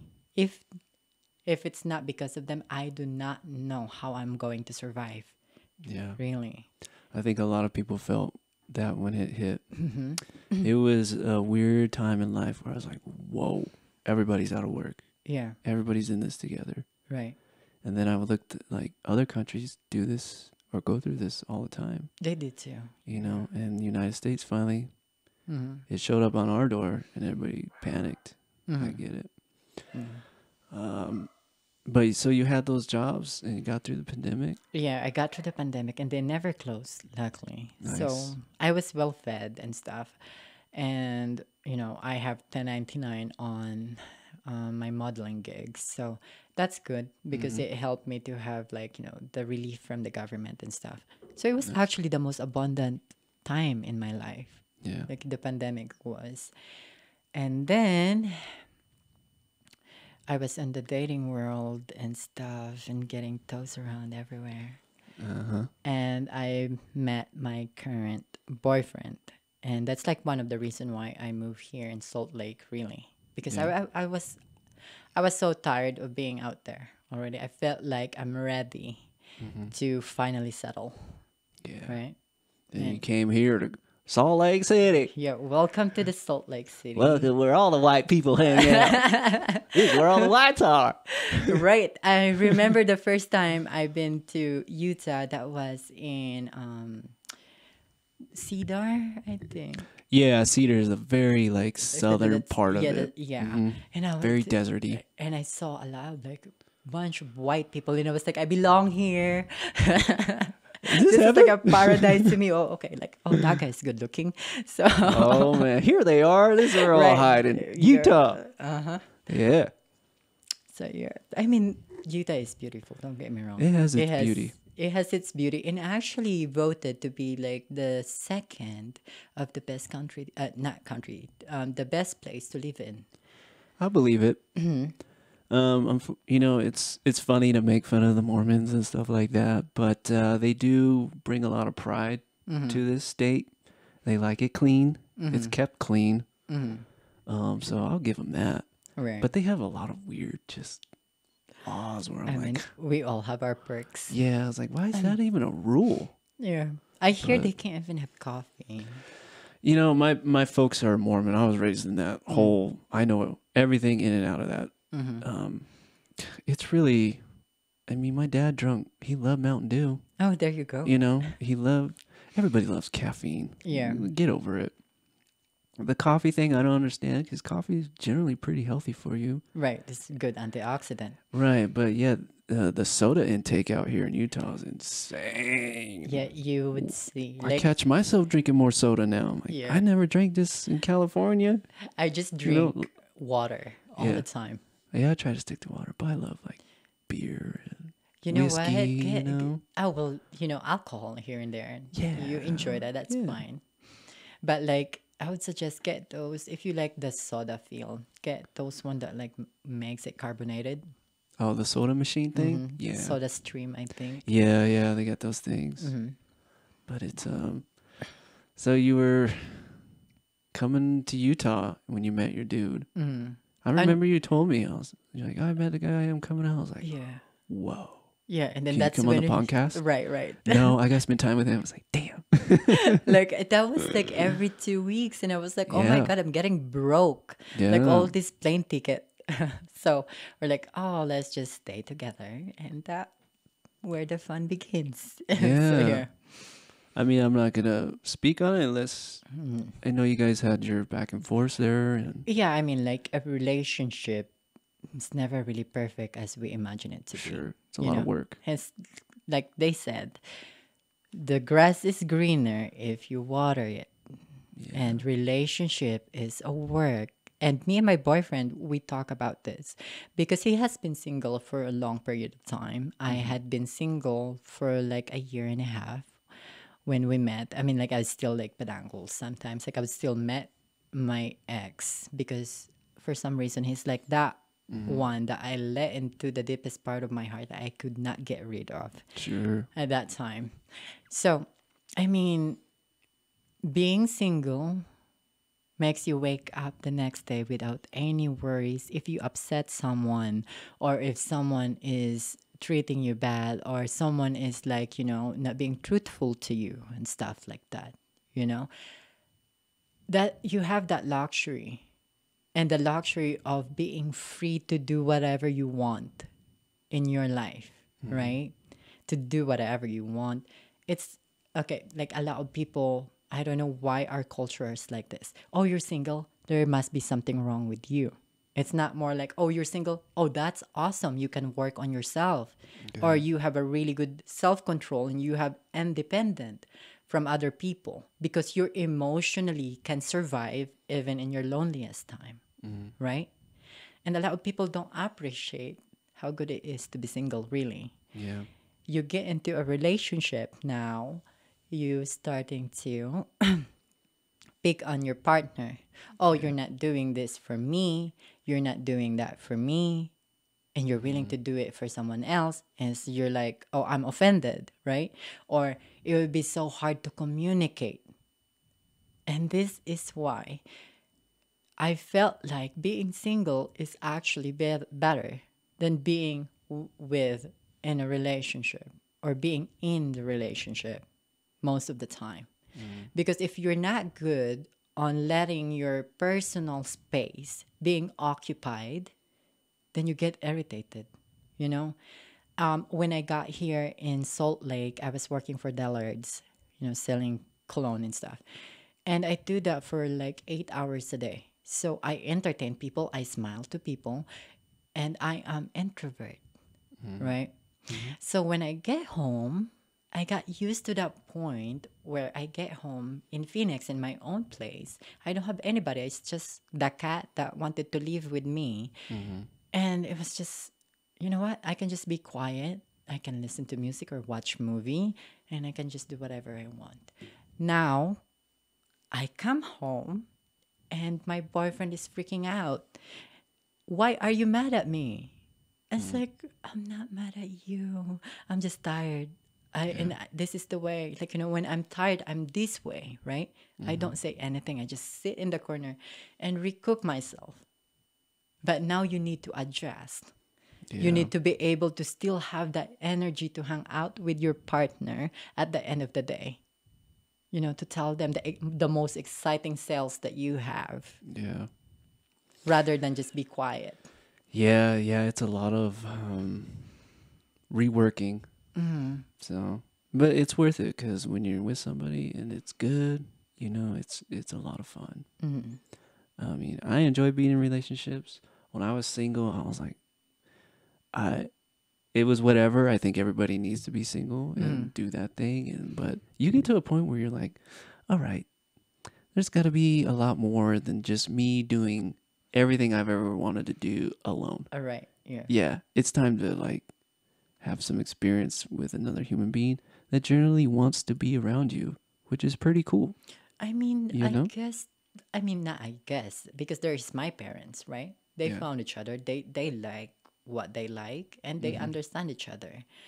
Um, it's the thing about me and my boyfriend is that um, him and I we both were single, Mm-hmm. and we were not like you know for a long period of time we were, and then all of a sudden you are constantly occupied by this person Yeah. and then we wonder like we were good when we were just dating Mm-hmm. and i was always telling him it's because you did not see the dark side of me you know i don't want to come here in salt lake and just fight Yeah. right? I wanted to come here in Salt Lake so we can spend time, we can have fun. And at the same time, it's the same way for you. Right. Because every time I come here, you forget about everything else and just spend time with me. Now that we are together, you needed to work, I needed to work, Right. and stuff like that. Like, you know, the vacation becomes your, like, you know, your daily life. And it's it doesn't feel like a vacation anymore. Yeah, I, I've been guilty of that in relationships where I forget all my friends, everything I do, everything Mm-hmm. that makes me happy, hobbies, everything, and it's all about them. Mm. And that's probably the most dangerous thing you can do. Don't get me wrong, it's a good portion of about them, Yeah. but you need to like hang out with your buddies still. And you notice You know? that with me. You're like, oh, let's do a podcast, and I'm too scared to get out. Yeah, I was like, "What do you, what do you, wor-" uh, and you know, I'm not gonna say anything, but I knew what was going on. But I was like, okay, I Yeah. get it. But Yeah. it's like you're you're losing who you are, Right. And you're absorbed all your energy, and you forget. Like, hold up, Yeah. I like to meet with people. Right. You I want to have my own life. Yeah, you can trust me. I can go sit with so and so. It'll be all right. It, it was me, Ah. actually. Oh, okay. Like, I, Oh, I okay, okay. had the biggest trust issue, Ah, right? And it's like, I, I kind of like, okay, well, I give up everything I had back home. Everything, right? sure. to be here. So I made sure of it that I would watch everything that there is no threat, hmm. you know, against me on that one. And I become possessive, I become toxic and stuff. Gotcha. Yeah. And I, I thought I was past that, right? I, I thought I was, oh, okay, I'm over that. I'm already an adult. I'm ready for a relationship. You know, I had spent time with myself. I mm-hmm. wanted to, like, you know, live a life that I could share it with someone.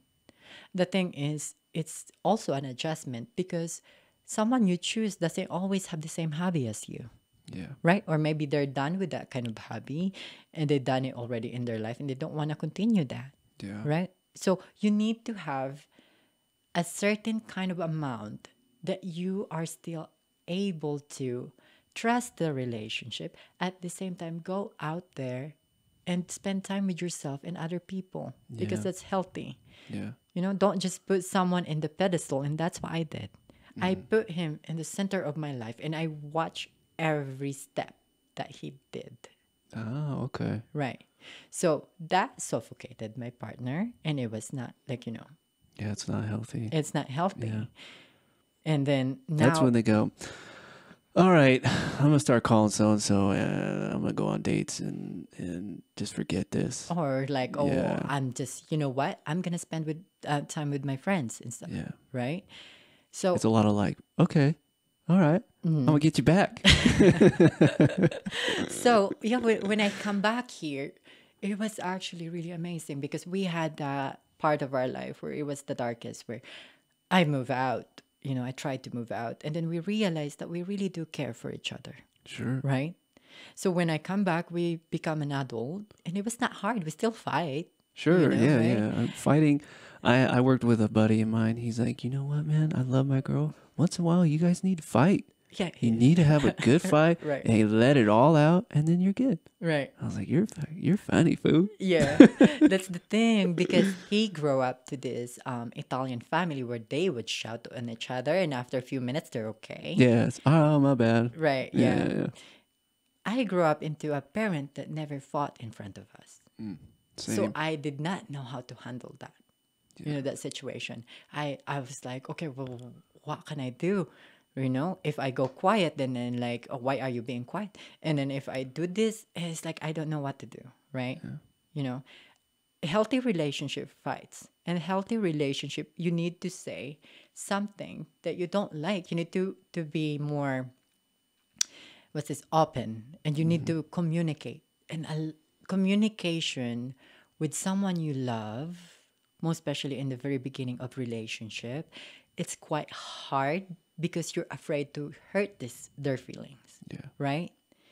If we can just tell, hey, I don't like this bull thing that you are doing, mm-hmm. you know, change it for me, right?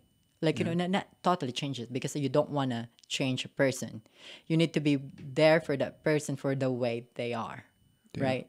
And if you don't like it, then zoom out. Like, Yeah. yeah, get out Uh, of their life. Yeah, or just accept that thing, that one thing is not going to change. Yeah, And, and, you're just like, okay, that's just Yeah. how he is. is Yeah, this or how she is. Is this Yeah. something I can live with or live, like you know, or, or not?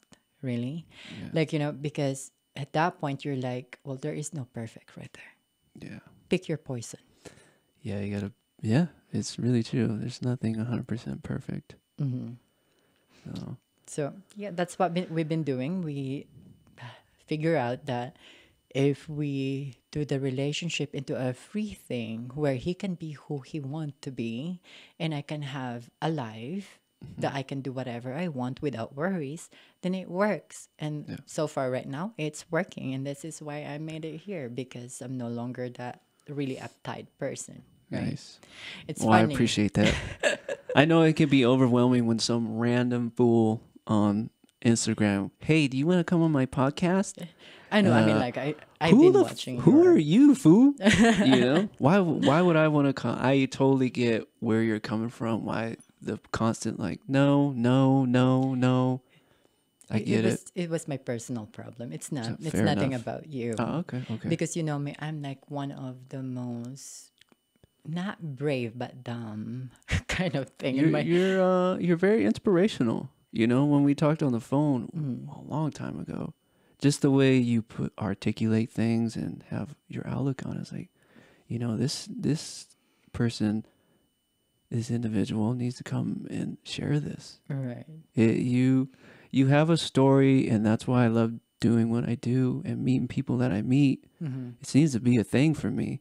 It just makes me go, whoa Yeah. you know it's just we're we all have this weird like just trail in life that makes zero sense. Hmm and then when we meet and we talk about it you go like you said earlier you're like oh that's why that happened. That's Yeah. why i went through that. That's why x y z you know? Yeah.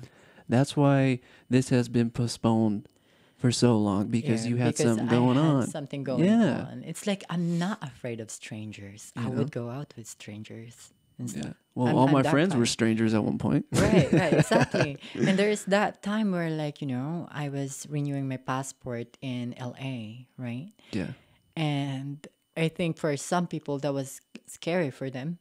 But for me, it was like, oh, okay. Because Mm. it's like I don't have any more paperwork at that time. They took my Yeah. passport. So I needed to take the bus coming back to Phoenix. Mm. So it was like 9 p.m. p.m. at night. And I was walking downtown Ange- Los Angeles and all the way to the bus uh, um, station. Yeah. And then on the way there is actually Skid Row. mm-hmm. And I was like filming and stuff, and I was just jolly, jolly with like my office outfit on. I was like, where am I? Like, hold up. Is this the scene? Is this the scene to The Walking Dead? right. Where are you guys at? You guys gonna pop out of the bushes? and it's Yeah, like, you it's- know, there's this guy just like there. calling me and it's like, hey.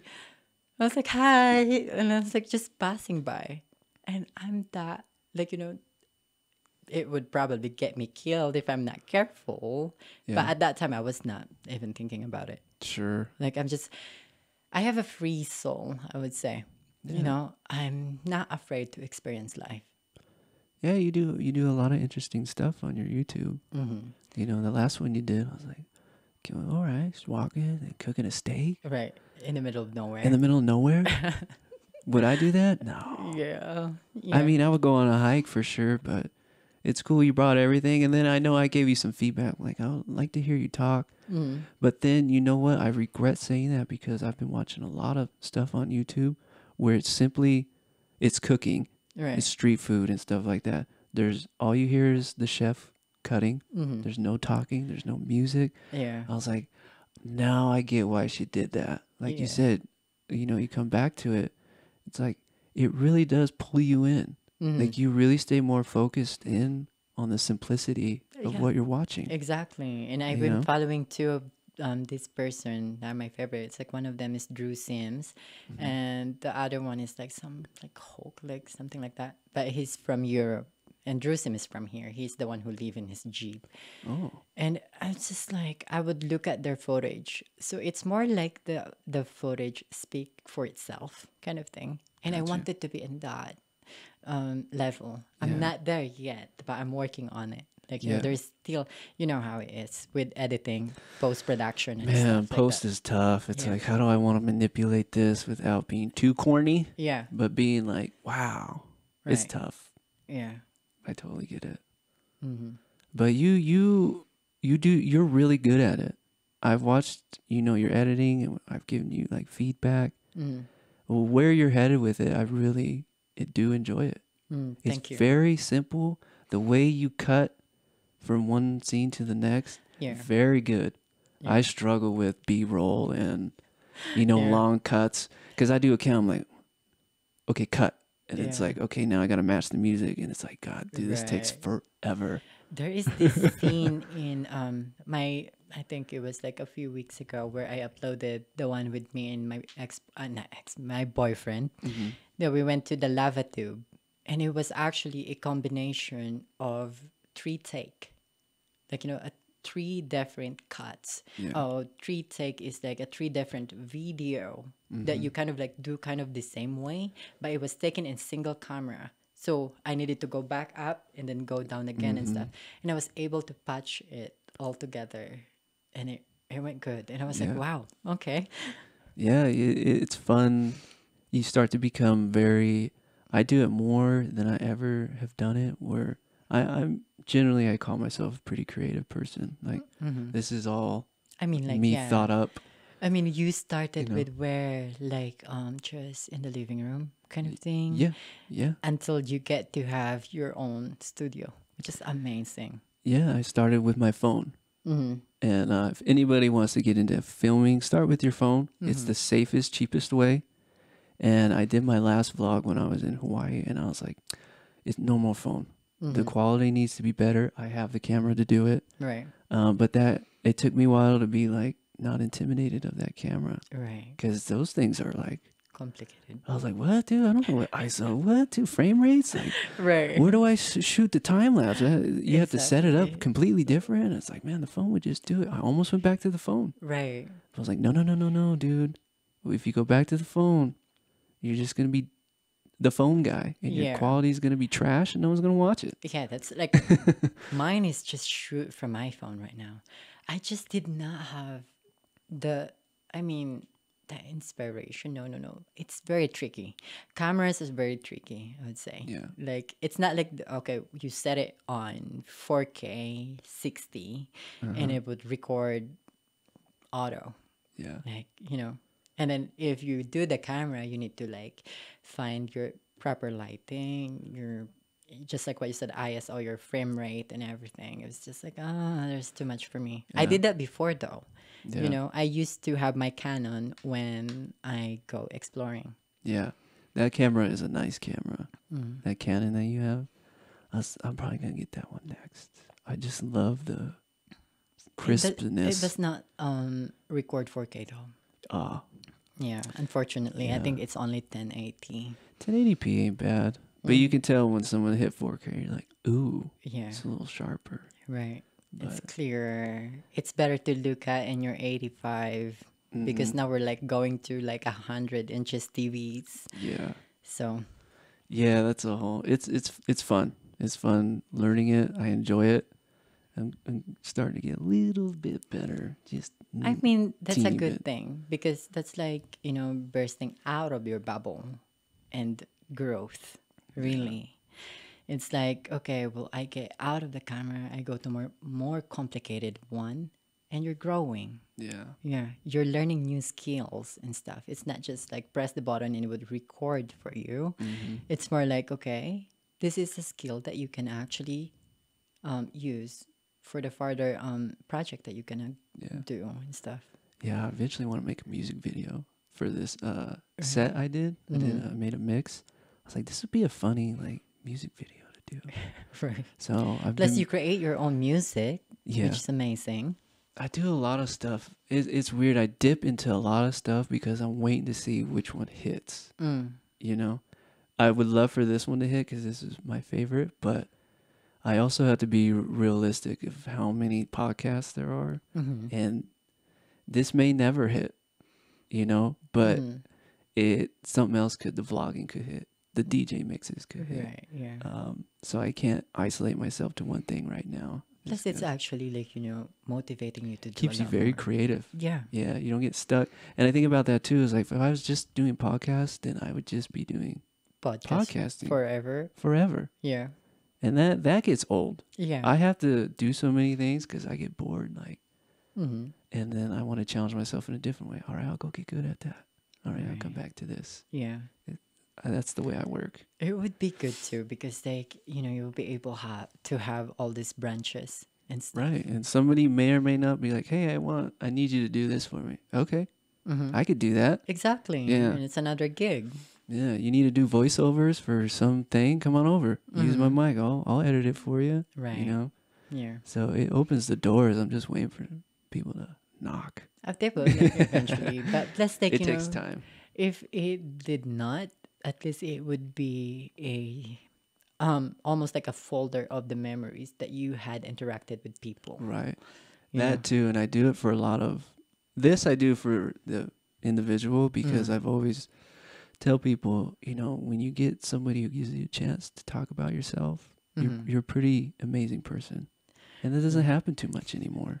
I, you I'm know? feeling like you're probably becoming more of a therapist now because you're hearing all this kind of like you know stories been- and you're gonna patch the oh le- lesson from this and lesson from that uh, you know, I've been very fortunate for it, yeah and it's really weird because I'm an extremely shy person, Mhm. and but I do this because it, there's this you people like you and people that I've had previous. Mhm. The stories are like, how how are you not writing a book or right you know it's phenomenal what you went through to be where you're at now. i mean we can all It's write wild. a book We really Right. could. you know because each person is a book itself Yeah. yeah we have a very unique we uh, some of us has similarities of our journey but it's like our fingerprint right Yeah. it's always different like you know your experience might have some you know of mine similar to mine Yeah. but it's different and it's unique on its own and that's the beauty of our existence here Yeah. yeah Yeah, no one has the exact same life. exactly So wild, right? Mhm. I mean, whoever's doing the programming, they got that part right. that's very true it's like good job on like fabricating those Yeah, good job on like making it not the same for everybody. Similarities, but Yeah. never exactly the same. Mm, yeah Yeah, it's like oh, i'll tweak this a little bit right here so it's not Sean's like, oh yeah, I'm gonna make him turn left instead of right this time. oh baby, Right. Good job, Sean. oh god yeah Yeah, it's it's a wild ride. Well, Mm-hmm. thank you so much for coming on here. I really appreciate it. I'm glad I got to finally meet you after hmm like fucking I 10 felt years. like I know you for a long period of time. yeah, I felt like I seen you like grow and just go through bad hardships. Just I'm like, man, I don't know what else I can do or say, you know. Mhm. Especially at that one point where you're like, I was like, uh, you, you got to go this way, you got to do that. You're like, oh, I'm gonna try it. I'm like, oh, you sure? Yeah. Yeah. Oh my god. you like, did it. I, I know I'm like I know you're trying to you know. That's all right. Go ahead. Um I'm crazy like that. You know? I'm very stubborn and I have this saying that if you're going to jump off the cliff, I would tell you that you're probably gonna get hurt or you're probably gonna die or whatever. But something is bad is going to happen for you. But if you wanna do it anyway, go for it. Mm. Right? Because I want people to be like that with me. If I want to do something in my life, don't cut it off because you are kind of removing that experience from me. If I would just follow what other people will do, I would not be here right now, right? Mm. Because I would be so sheltered and I would never ever experience that kind of pain personally and like you know like on me. It's not just like pain from hearing it from other people. It's actually experiencing life on my own. right? Fair enough. Yeah, because That's interesting. That's a really good way to look at it. Honestly, I Mhm. never thought of that. Yeah, because if we say, "Don't do that," because you you might get hurt, maybe that person needed to be hurt, Hurt. so Yeah. that they can get tough and they get they, they get to be a better person. So there is that. That's a good point. I Mm. told a friend that recently. Mm-hmm. Um, the one I was helping financially. I was like, if you go back to so and so, I can't help you financially. I could still be your friend if you needed something, Mm-hmm. but I had a that was hard for me to do because she has kids. I'm like, Ugh, you Yeah. know, your kids. Yeah. Kids shouldn't be seeing that. And then I, when I told her that, she's like, "What's the problem with me dating so and so?" I was like, "Did you not hear what I said? I said I can't help you financially anymore. That has gone to him now. Yeah. That's between you 2 Mm-hmm. You needed help for a moment, but I can't sit here and say I agree with you being a punching bag for the rest of your life. But I hope you learn from that. Yeah, and I'll be here if you need to talk it out. I Mhm. can't. I'm not gonna give you money anymore. That Mhm. doesn't do any good. And uh, yeah, but I, I, like you said, it's probably what she has to figure yeah, out. She needs to go through with that yeah, because you know, unfortunately, I'm so good on telling people what to do, like telling them like a lot of advices. But it's so hard to do it myself. oh, trust me, Yeah. I t- I'm I'm like that all the time. Um, Yeah. and people generally take it. They do pretty good. Mhm. Then I go, fool, you wouldn't even do that. you such a, you such a, you such a fibber. But most of the time, it, when I my thing now, I, I tell people, and we'll, we'll wrap this up soon. I tell people if they're going through a hard time, whatever that hard time is, I say, all right, say that thing that's bothering you out loud, and tell me if that sounds like a good thing. hmm Like this girl who's dating a guy who's beating her up, pretty much. hmm I said, say that out loud. Yeah. My, my man beats me up hmm every day. I have Mm. bruises. Right. I'm like, so what do you think? Yeah. Yeah, that doesn't sound too good, does it? Right. And they go, fuck. Yeah. Is Okay. it worth it? is it worth it? Yeah.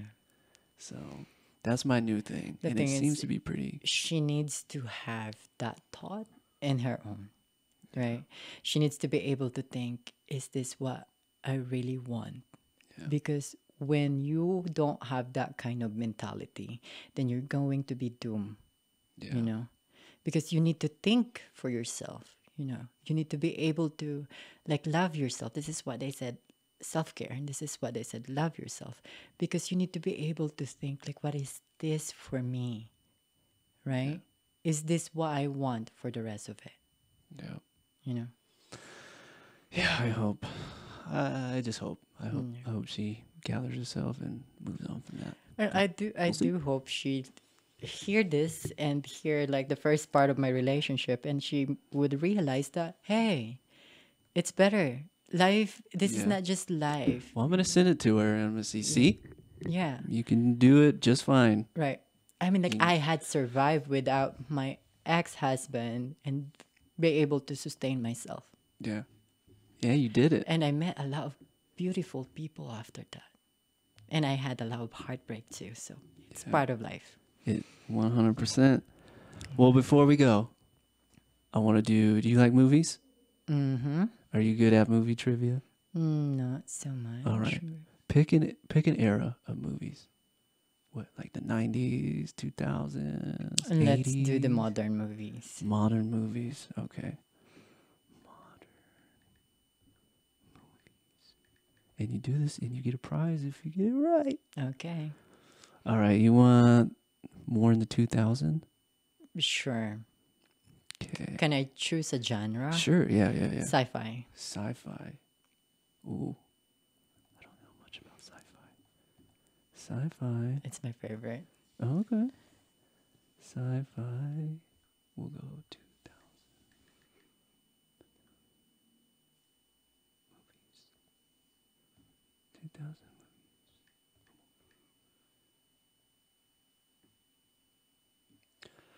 movies. Hmm, okay, okay. You got to remember too, I grew up without television for 17 years. Yeah. Just guitar. Let's see. Um, All right, I'll, I'll I'll give you the premise and see if you get this. Okay. Let's see with this movie. Um, they land on a unknown planet, Mm-hmm. And only one guy has special vision where he can see these animals that are trying to kill them. Oh wow. Oh, that's a tough one. I can keep keep giving you more clues. Okay. The main actor has nine movies recently Okay. of the same uh, franchise. They have nine at the moment. Is this the Alien movies? No, not the Alien movies. I keep giving more clues. Is this a movie? Uh, this is a movie, right? Yes. Um, it's not gonna be the Star Trek. No, I believe this movie's later, like '90s ish. Mm. I'm afraid I did not see that. Okay, so the main actor, he uh, he's in a car, the car movies, and there's nine of them. Okay, so the Fast and the Furious. Okay, who's that? Who's the main guy? What's his name? The actor. Um, Vin Diesel. 'Kay. Now that you have his name, Uh huh. the sci-fi movie he is, he has to wear special goggles. Yeah, yeah. I think I've watched this. I don't know the, the title. like it's like a um. Is this like almost like a witch hand? No, they land on some planet, and these things have. And there's like a, a girl and a boy right there. Right, I think. Mm, there's like a group of people. Yeah, yeah, Yeah, yeah. it's called Pitch Black. Oh, okay. Well, I did not see all of it. Good enough. All Good enough. But hey, you still you still get the prize. That is a bundle of stickers. Oh, I Um, will add it can- to my um thing because like this thing, I, I still have it. So we've been. Oh talking. yeah, yeah. You got Right that there. little one. I had that Japanese thingy right here, but it fell off. Oh, I yeah, I still have that those. thing. Right Got ton more of those. So, Well, Diana, thank you so much. I Thank appreciate this. Oh, maybe we can come back and do another one and Yeah, talk more about. Yeah. uh, where you're at now and mm-hmm. you know see where you want to go in the future. Right. maybe. But thank you so much. It's fun to finally talk to you. Thank you so much for Yeah, having me. Of course. All right, folks, that is it. Appreciate you guys watching. Take care of yourselves and take care of others. Peace.